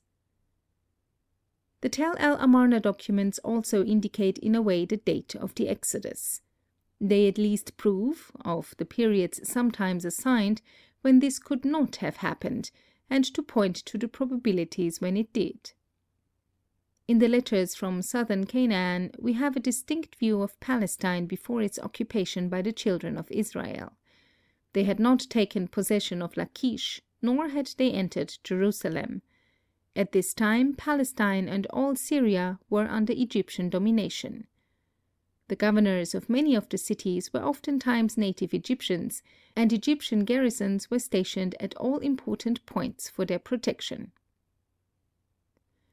From the time of Thotmes III of the 18th dynasty to the close of the reign of Amenophis IV, this state of affairs had continued, and during this period no Egyptian king corresponds to the pharaoh of the oppression. At the time of the invasion of Canaan by the Israelites and their occupation of its cities, the domination of Egypt had ceased. This did not occur until the close of the 18th dynasty. When the 19th dynasty came in, with Ramesses I, a new order of things arose. The reaction against the heresies of Amenophis extended to all Asiatic influences, and the Semitic people throughout the realm found in Ramesses and his immediate successors the pharaohs who knew not Joseph. Again, in certain of these letters from southern Palestine, there are references to the Kabiri, who were threatening these cities, and in the Kabiri some scholars read the word Hebrews and their approaching invasion of Palestine. These would place these letters at the close of the wandering in the wilderness, instead of earlier. Against this view is urged that the political conditions of Canaan at the time of this correspondence do not agree with those of the Israelitish invasion of Canaan. The word Kabiri signifies confederates. They are probably the people of Hebron, one of the old Amorite cities, and confederated against the alien Egyptian authorities, with their stronghold at Hebron. In the letters of Ebed Tob to the king of Egypt, he complains of certain officials in the neighboring cities who are conspiring with the Kabiri, the most dangerous foe to the constituted authorities in that part of Palestine. The preservation of these documents among the archives of the Egyptian king show that these appeals were received. The evidences are that they were sent to Amenophis IV near the close of his reign. Then civil war, which continued for some time after his death, and during the reign of his immediate successors, made it necessary to recall the Egyptian troops abroad, and the strongholds of Egyptian rule in Asia soon surrendered to native and foreign claimants of Syria and Canaan. It is scarcely possible in so brief a sketch to give an estimate of things indicated or the historical importance of these documents. The most striking of the things indicated is the large range presented of Babylonian influence and culture. This is not more noticeable in the countries bordering upon the Euphrates valley than it is throughout the region lying along the eastern coast of the Mediterranean and the western slopes of Amanus, from northern Syria to the valley of the Nile. From Tyre and Sidon, Beirut and Joppa, Gaza and Ascalon, Jerusalem, Lachish, and other ancient cities of Syria, Palestine, and Canaan, letters were addressed to the king of Egypt, not in the language of Egypt, nor yet of Syria or Canaan, but in the language and script of Babylonia. This is hardly what might have been expected. We might have expected, for instance, the speech of the Semitic people of Syria or Canaan, this older Hebrew, to have assumed Hebraic forms, that older Phoenician script for which scholars are so earnestly searching. Or we might reasonably have supposed that documents from this region and at this time would have been expressed in the written forms of the hieroglyphic system of Egypt, but this was not the case. The problem of the use at this date of the script and language of Babylonia by the Semitic people of Syria and Canaan must be referred to the extensive influence of Babylonian culture and power, which had been more or less dominant in Canaan from the period of Sargon I. Of this, Professor Sayce says: So long had this system of writing been adopted in Western Asia, and so long had it had its home there, that each district and nationality had time to form its peculiar hand. We can tell at a glance by merely looking at the forms assumed whether a particular document came from the south of Palestine, from Phoenicia, or from northern Syria. Again, the prevalence of its use throughout the vast region represented by these documents, from the Persian Gulf to the mountains of Armenia, from beyond the Tigris to the Mediterranean Sea, and from northern Syria to Arabia, implies the centuries. It indicates that what our alphabetic system is to modern civilizations, the Babylonian cuneiform was to the civilizations of Western Asia in the century preceding the Exodus. Another influence for the persistency and spread of the cuneiform writing was due to the great libraries established in various cities, to which the people had access. These had existed from the earliest times in Babylonia, and undoubtedly spread with the spread of Babylonian influence and culture. Of legendary libraries in Chaldea, Berosus tells of the antediluvian city Panta Bibla, town of books, and Sippara, also city of the sun, where Xisthurus, the Chaldean Noah, buried his books before the deluge, and from whence they were disentombed after the subsidence of the waters.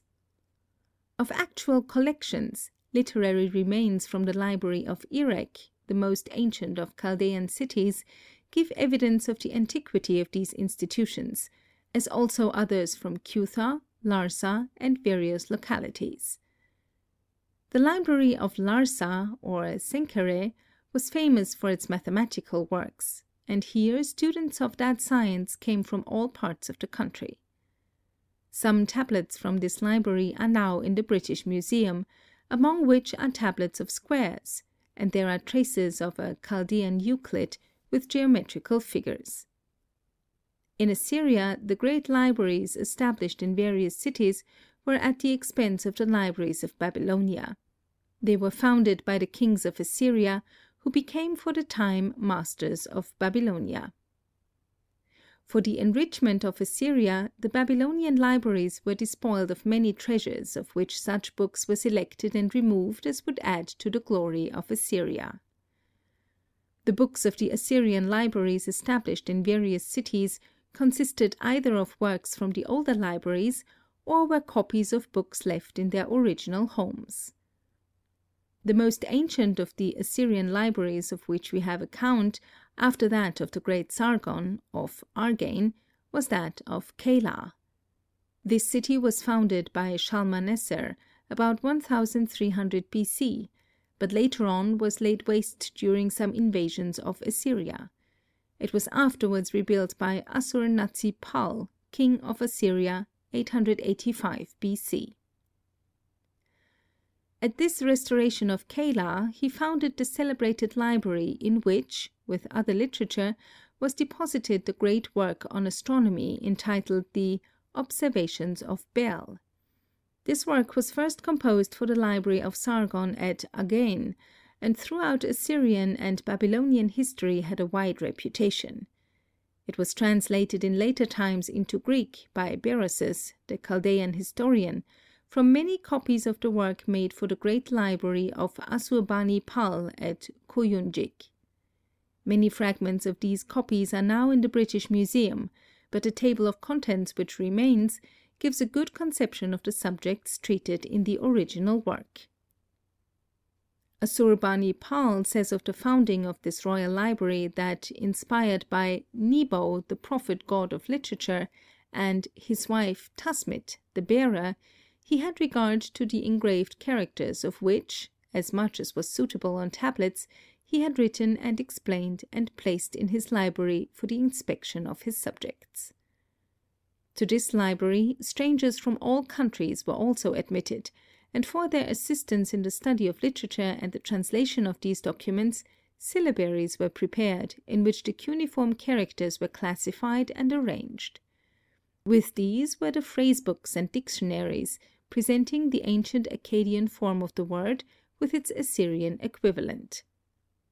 By these means the modern student of cuneiform has been able to translate this long forgotten language as readily as the student of the period of Assurbanipal.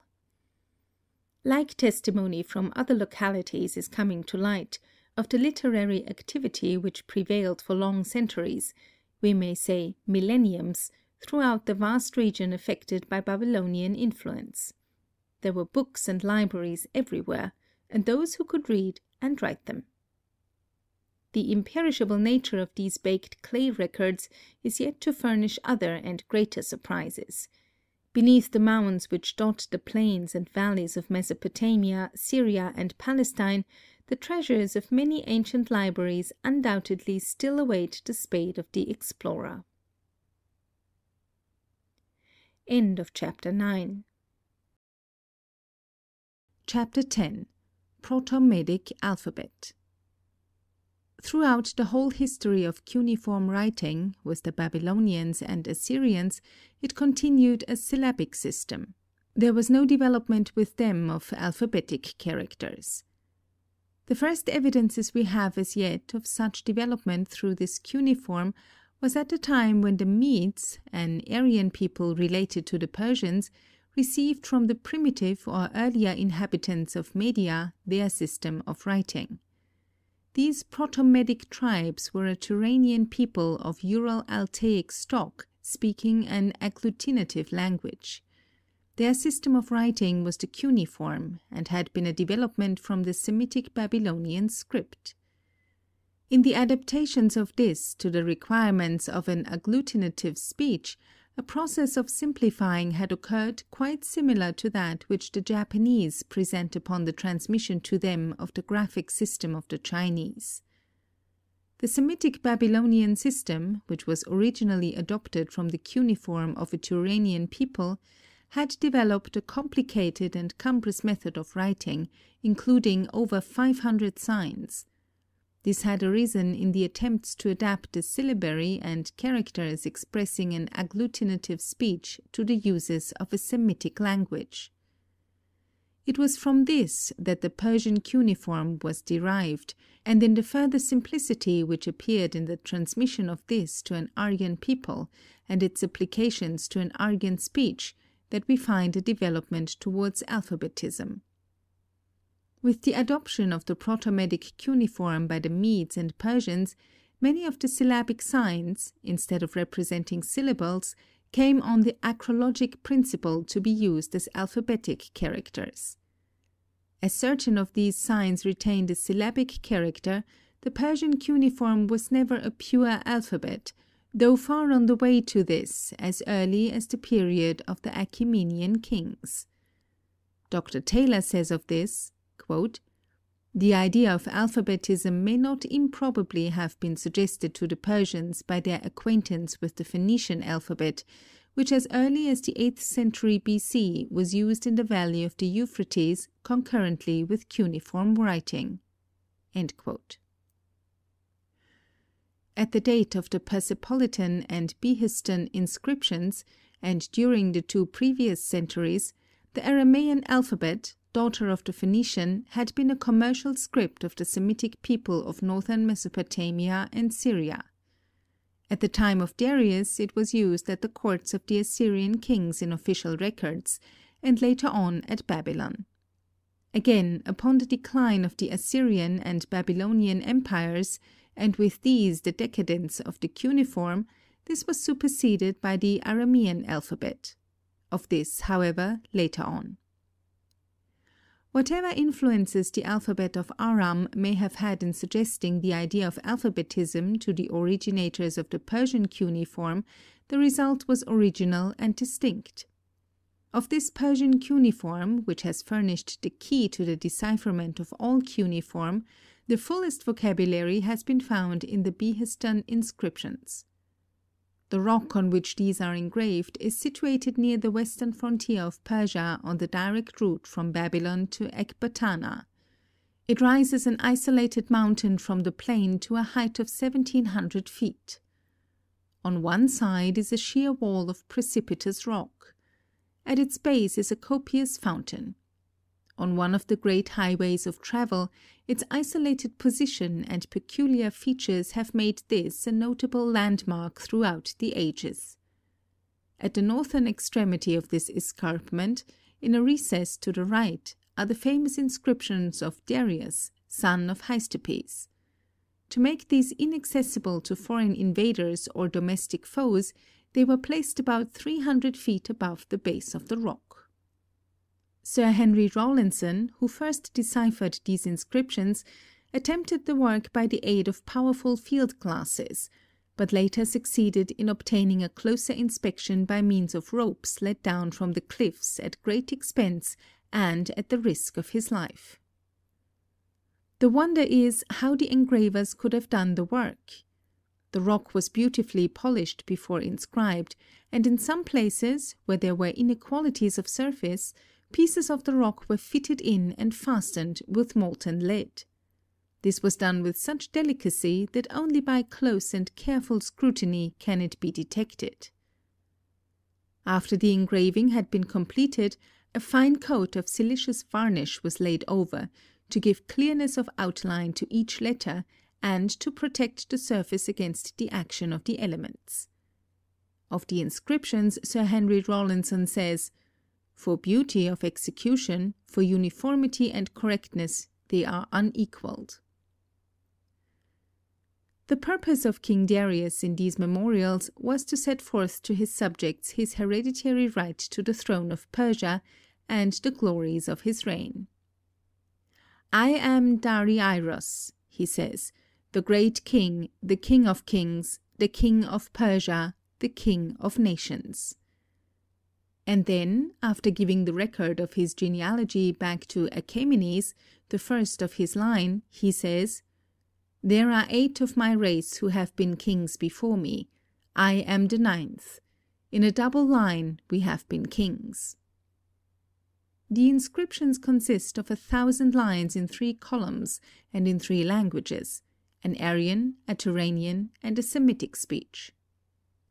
The first column, addressed to the Persian people of his realm, was written in the Persian cuneiform, with thirty six alphabetic signs and but four ideograms.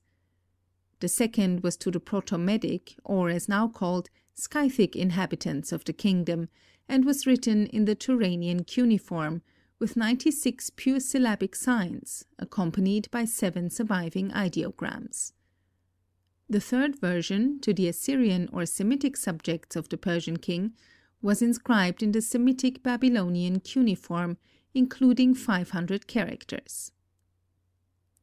After the discovery by Grotefend of the key to the decipherment of the Persian cuneiform, Sir Henry Rawlinson, an English military officer in the service of the East India Company, while on duty in Persia, undertook the study of cuneiform characters. This he attempted independently, with no one to aid him, as at this time he was not acquainted with the discoveries of Grotefend or the methods pursued by him.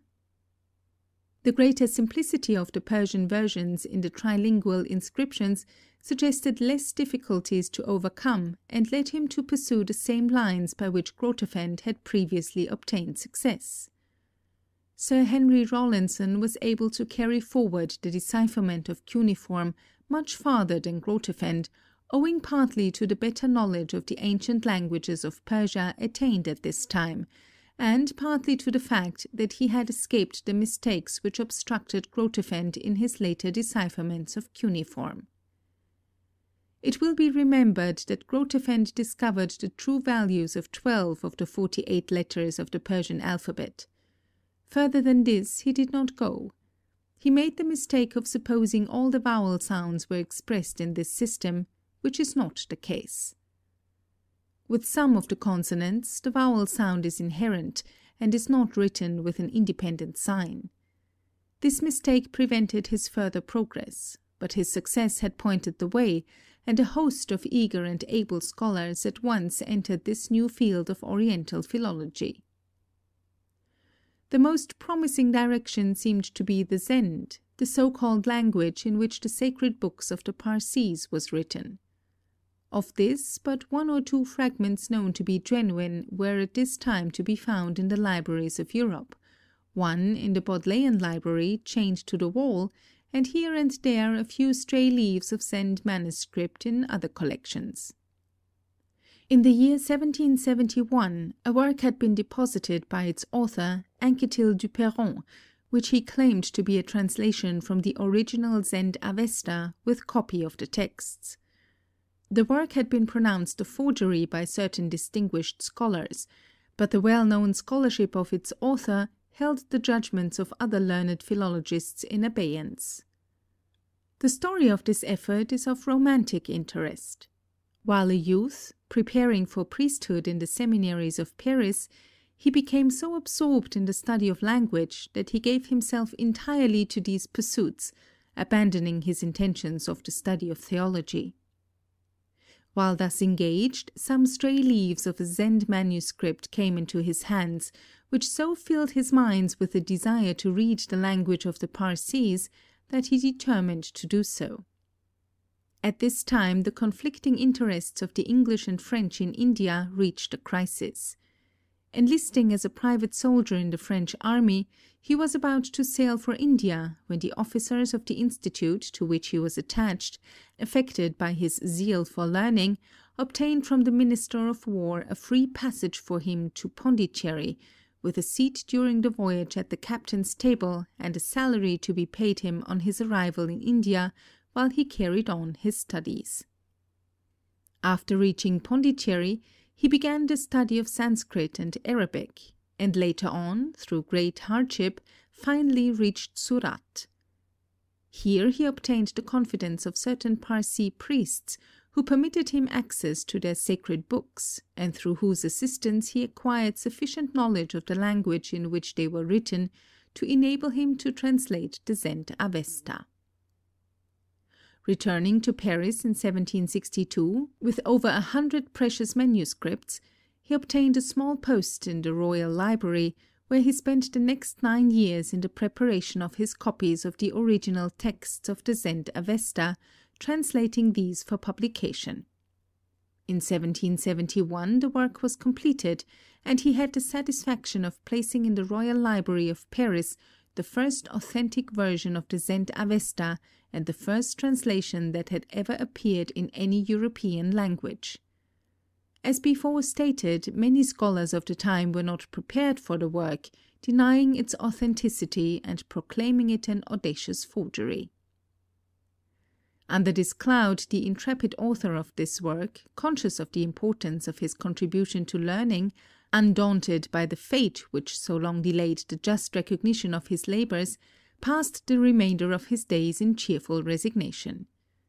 He lived to congratulate Grotefend upon his achievements in the decipherment of cuneiform, and died shortly after, in 1808, at the advanced age of seventy seven.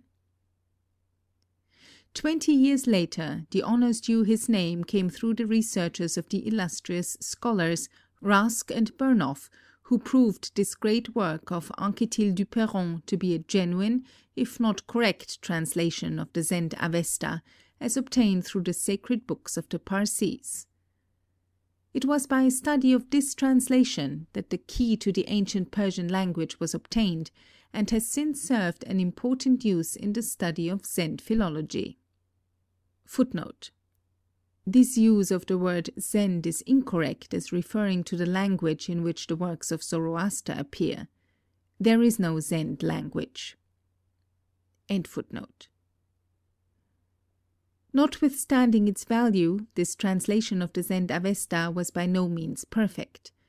The faulty teachings of the Parsee priests led the author into occasional errors which obstructed the progress of later scholars who depended too closely upon it for results. Little by little, however, from the work of Sir Henry Rawlinson on the Behistun inscriptions, through the researches of Burnouf in the original Zend manuscripts, again from testimony furnished by other distinguished scholars, from coins and other inscriptions, and still again by a comparative study of Sanskrit, modern Persian and Arabic, all the letters of the old Persian cuneiform have been obtained, until now it is as easily and distinctly read as Greek, or Hebrew. It is impossible within these limits to follow the steps by which these important results were obtained. The methods employed in such researches are often only intelligible to philologists themselves. In this special study, the epigraphic materials examined included not only cuneiform signs, but characters representing the fully developed alphabets of later periods, alphabets which had superseded the cuneiform as systems of writing, though expressing the ancient speech of Persia. The most ancient copies of the Zend Avesta are only to be found in Pehlivi characters, a Persian alphabetic system of the Sasanian period, dating from the 3rd century A.D. The Pehlivi alphabets are direct descendants of the Aramean alphabet, a daughter of the older Phoenician, which had developed in the highlands of Aram or Upper Mesopotamia before the Achaemenian period in Persia. The Aramean language originally expressed by these characters was at this time one of the most widely spoken of the Semitic dialects, including the idioms of Syria, Aram, and Assyria. At first, as a commercial and literary script, it came to be extensively used in these and adjacent countries conjointly with the cuneiform. In the ruins of ancient Nineveh there are the remains of what must have been a public registry office. From this a great number of terra cotta tablets have been exhumed, on which were inscribed in cuneiform characters records of legal contracts, including loans of money, sales of estates, and exchanges of other properties. Many of these tablets were docketed on the sides or edges in Aramean or Phoenician letters, by which the subject of each document could be readily found when piled on the shelves or in recesses where they were deposited.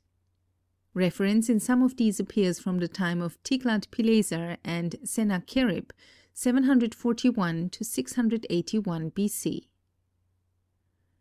Other evidences of the extensive use of this script comes from the later Assyrian kings and from Babylonia until the decline of these empires, 606 to 538 BC.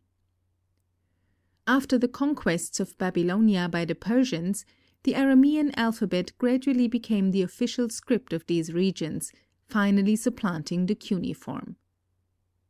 Of historic documents of this period in the Aramean script and language was the royal decree given by Artaxerxes to Ezra for the rebuilding of the temple at Jerusalem. The Aramean was the language spoken at this time by all the Semitic people of Babylonia. It is probable that during the whole period of the Achaemenids a local variety of the Aramean alphabet was in general use as a cursive script throughout the empire.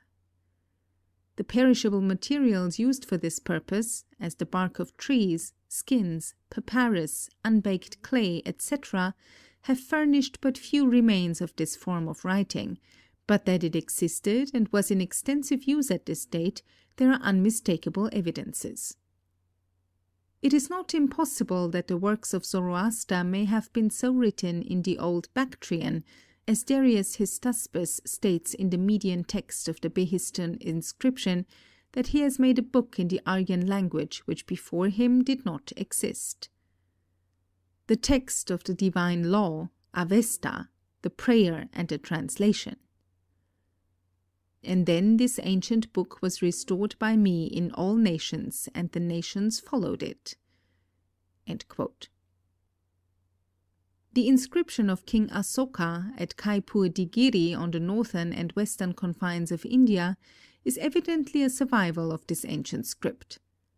About 500 BC, the Punjab was invaded by the Persians under Darius, and during the remaining period of the Achaemenian kings continued a satrapy of Persia.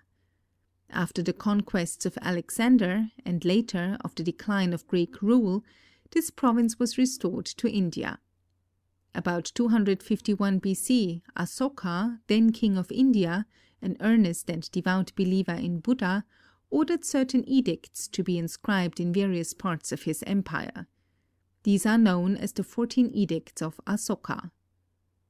The type of the alphabetic character employed in the various localities differs. Those used at Kapur di Giri are in a cursive script from the Aramean and are often designated the Bactrian alphabet from its close relationship to these early Iranian forms. Of this, Dr. Taylor says, The Kapur di Giri record must be regarded as an isolated monument of a great Bactrian alphabet in which the Zoroastrian books and an extensive literature were in all probability conserved. End of section 10. Chapter 11 Zoroaster and Mahomet For monumental purposes, the Persian cuneiform remained the official script of the empire conjointly with the Semitic Scythian cuneiform until the conquest of Persia by Alexander the Great, about 334 B.C., with which the period of the Achaemenids closed. Immediately following this, the use of the Greek alphabet appears on coins and inscriptions, and this continued during the Greek domination in Persia under the successors of Alexander. The early Arsacids, the Parthian kings who brought an end to the rule of the Greeks in Persia, used also for a time the Greek alphabet for monumental records and numismatic legends.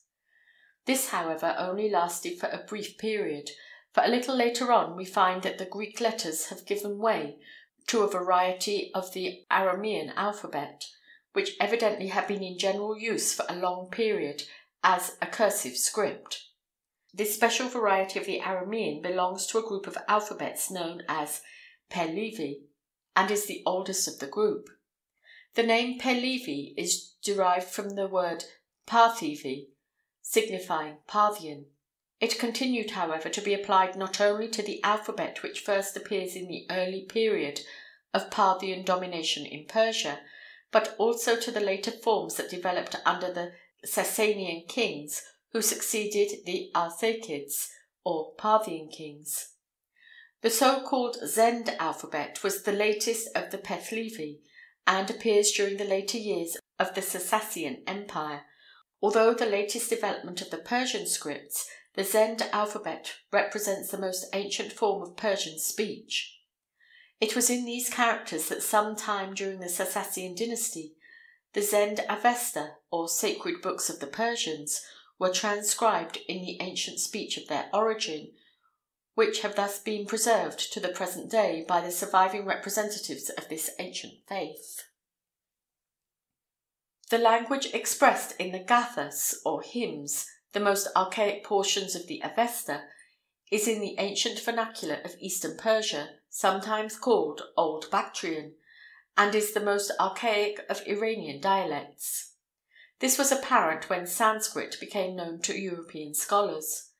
The striking resemblance of the Gathas to the older Sanskrit of the Vedic hymns indicated a close relationship. They seemed, indeed, like two dialects of the same speech.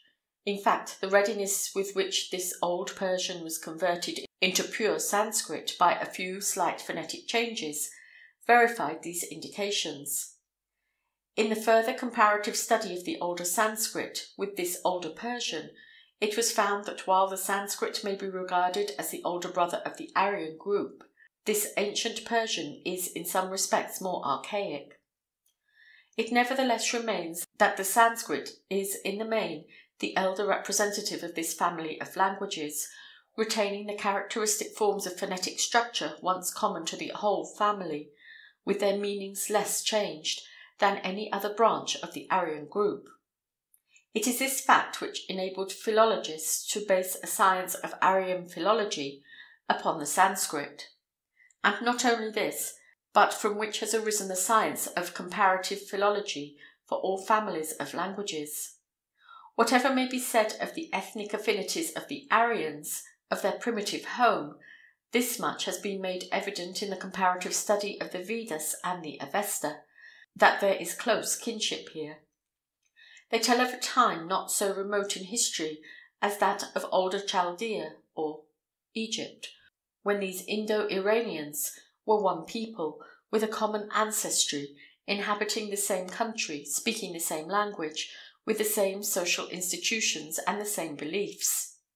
They indicate that the home of these Indo-Iranians before their separation was somewhere near the headwaters of the Oxus, to the northwest of the Hindu Kush that finally there was a separation of these families, those afterwards known as the Hindus penetrating these great mountain passes into the Punjab, the land of the five rivers in the northwestern part of India from whence they spread southward over this great peninsula.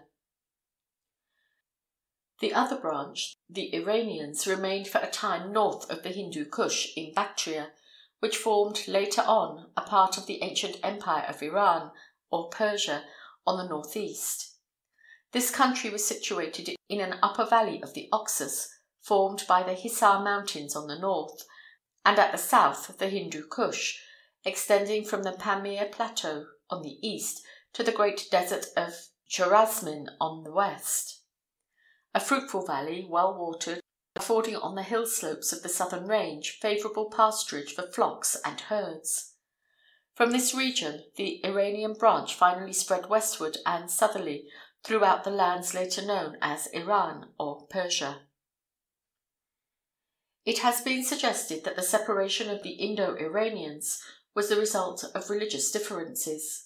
The schism indicated in the Rig Vedas and the Avesta seems to have grown out of the distinction which finally arose between the signification of the words Asura or Ahura as applied to deity. The earlier faith of these people seems to have been a pure nature worship, the sun, the sky, light, fire, the elements, throughout which appears also a spiritual conception of a supreme being, lord of the sky, the sun, creator of all things, who was known as Asura or Ahura.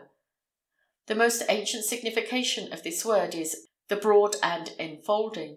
Its earliest application as Lord of the Sky is, perhaps, a reminiscence of that remote period in the history of these people when they roamed the vast steppes of northern central Asia. In the spiritual conception which grew from this, Asura became the lord of the broad heavens, the god of light, the infinite. The word diva from the Sanskrit div signified brilliant, shining. In its spiritual sense, the shining ones applied originally to the ministering spirits, the bright messengers of Asura.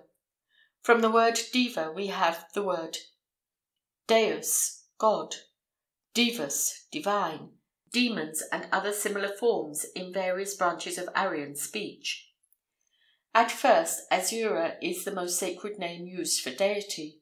Later on, with the increase of gods in the Hindu pantheon, the term Asura is conferred as a highest dignity upon the greater gods, as Asura Varuna, Asura Indra.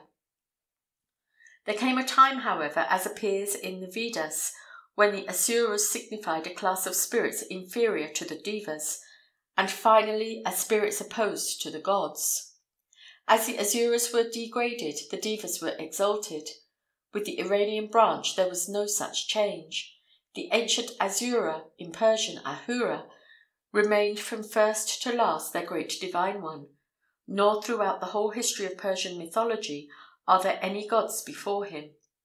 The word Devas with them came to signify evil spirits, devils. That a schism arose is apparent, and also that it was local. Hard by the believers in Ahura, says Zoroaster, dwell the worshippers of the Devas. Such were the conditions when the great prophet and sage appears upon the scene, not as the apostle of a new religion, but as a teacher of the higher meanings of their ancient faith. As priest and leader of the believers in Ahura, he strikes at once at the root of the dissension. The worshippers of the Devas are blind followers of the Evil One, who seek the souls of men to destroy them. The Hindus developed into gross polytheism. The Iranians grew into a monotheism, at once all comprehending and simple. A philosophy profound, and yet without dogma. A system of morality noble and true, which has compelled the admiration of the wise and spiritual of all ages.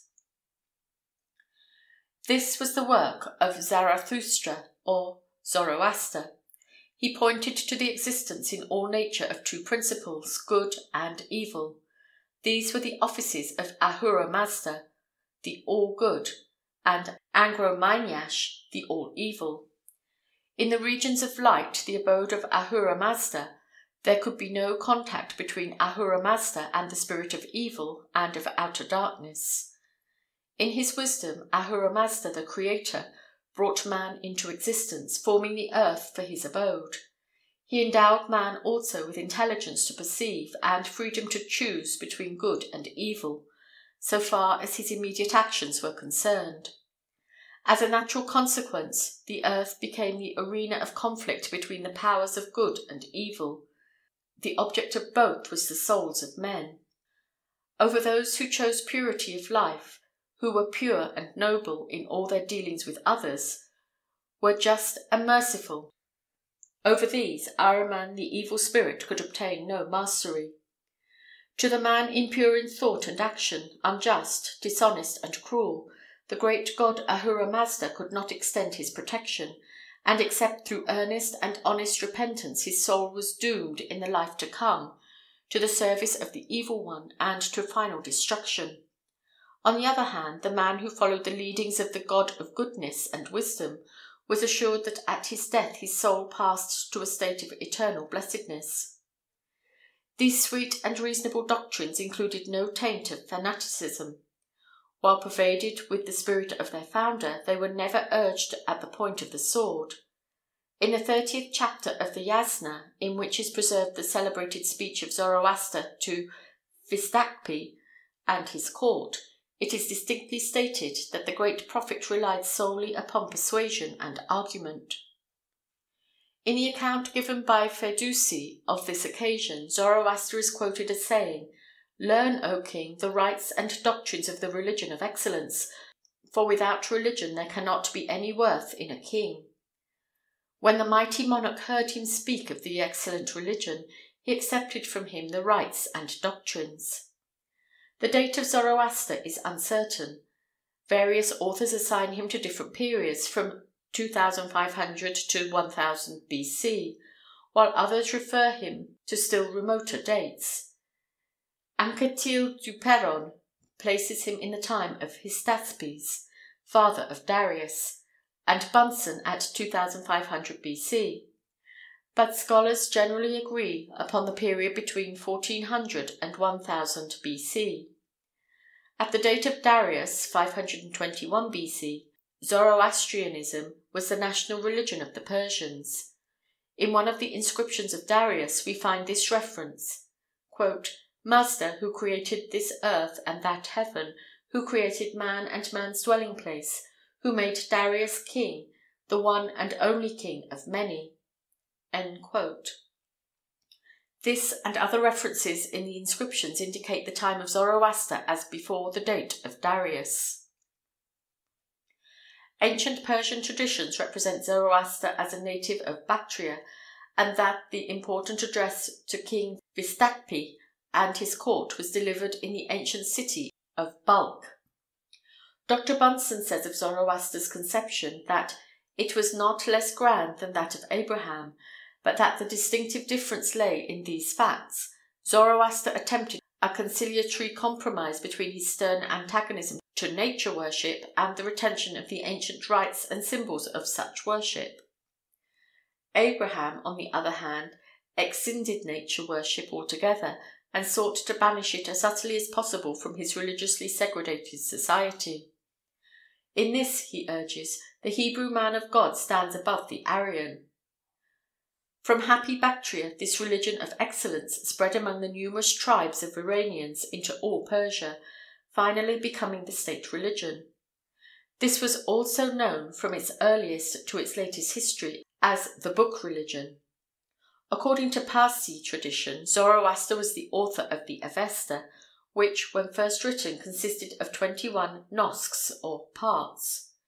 It is also stated that this book was in a form of writing invented by Zoroaster, and which the Magar, or priests of this cult, called the writing of religion.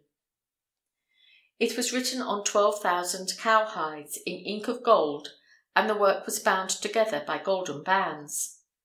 Various Greek writers who followed the wake of Alexander's conquests in Persia claim to have seen the original, which was preserved in the archives of Persepolis, Traditional accounts state that there were two copies of this work, one of which was destroyed in the palace of Persepolis, which was burned by order of Alexander, and the other was destroyed by the Greeks in some other way. There were also copies of the various nosks or parts in the hands of the priesthood, which thus escaped destruction. After the death of Alexander, the Zoroastrian priests gathered the remaining fragments, putting them into book form. Five hundred years later, at the close of the Parthian dynasty in Persia, another collection of the Avesta fragments, both oral and written, was instituted at the command and under the patronage of King Vologases, the last of the Arsacids, about A.D. 225. The work of editing and revising these collections was continued under the early Sassanian kings, with whom the ancient nationality again became ascendant, and with this the ancient Persian religion and its literature. The new Avesta thus produced was proclaimed canonical. Under the later Sassanian kings, the Avesta was transcribed in the later Pahlavi or Parsi script. in which form it has survived to the present day. Of this, however, but a portion remains. The Sassanian dynasty ended with the conquest of Persia by Mohammedan Arabs in 641 A.D. In the fury of persecution which broke over all Iran at this time, Zoroastrianism as a national faith was crushed, and the sacred literature of Persia was again scattered abroad by the devastating influences of war and fanaticism. To the religion of Zoroaster, that of Mohammed succeeded. The Avesta was replaced by the Koran, and the Arabian alphabet supplanted the Persian as a national script and has so remained to the present. The ancient national life of Persia was not crushed out at once, but continued a vigorous though ineffectual resistance for centuries. During these troublous times, probably about the ninth century A.D., a colony of Persians who held fast to their ancient faith fled from the country, and after many years' wanderings finally established themselves on the western coast of India from Bombay to Surat. They brought with them the remains of their sacred literature, to which other missing portions were added from time to time, as they could obtain them from their brethren in the faith who remained in Persia, chiefly at Kerman and Yezd. They adopted the language of the Hindus among whom they settled, but steadfastly maintained their religion and customs. It is from the descendants of these refugees, the Parsees of India, that the ancient sacred books of Persia have come into our hands. The Avesta, as it now exists, consists of four parts, the Yasna, the Visperad, the Vendidad, and the Kordash, or Little Avesta. Each of these parts are remainders of the older collection and are of different dates. The Yasna, a collection of hymns and prayers for divine service, includes the Gathas, the most ancient and sacred portion of the Avesta. These are evidently what they claimed to be, the work of Zoroaster. The language in which they are composed is as old, if not more ancient, than the Sanskrit of the oldest Vedas. The allusion to these hymns throughout the various parts of the Avesta shows them to have been in existence long before all other portions of these collections were written.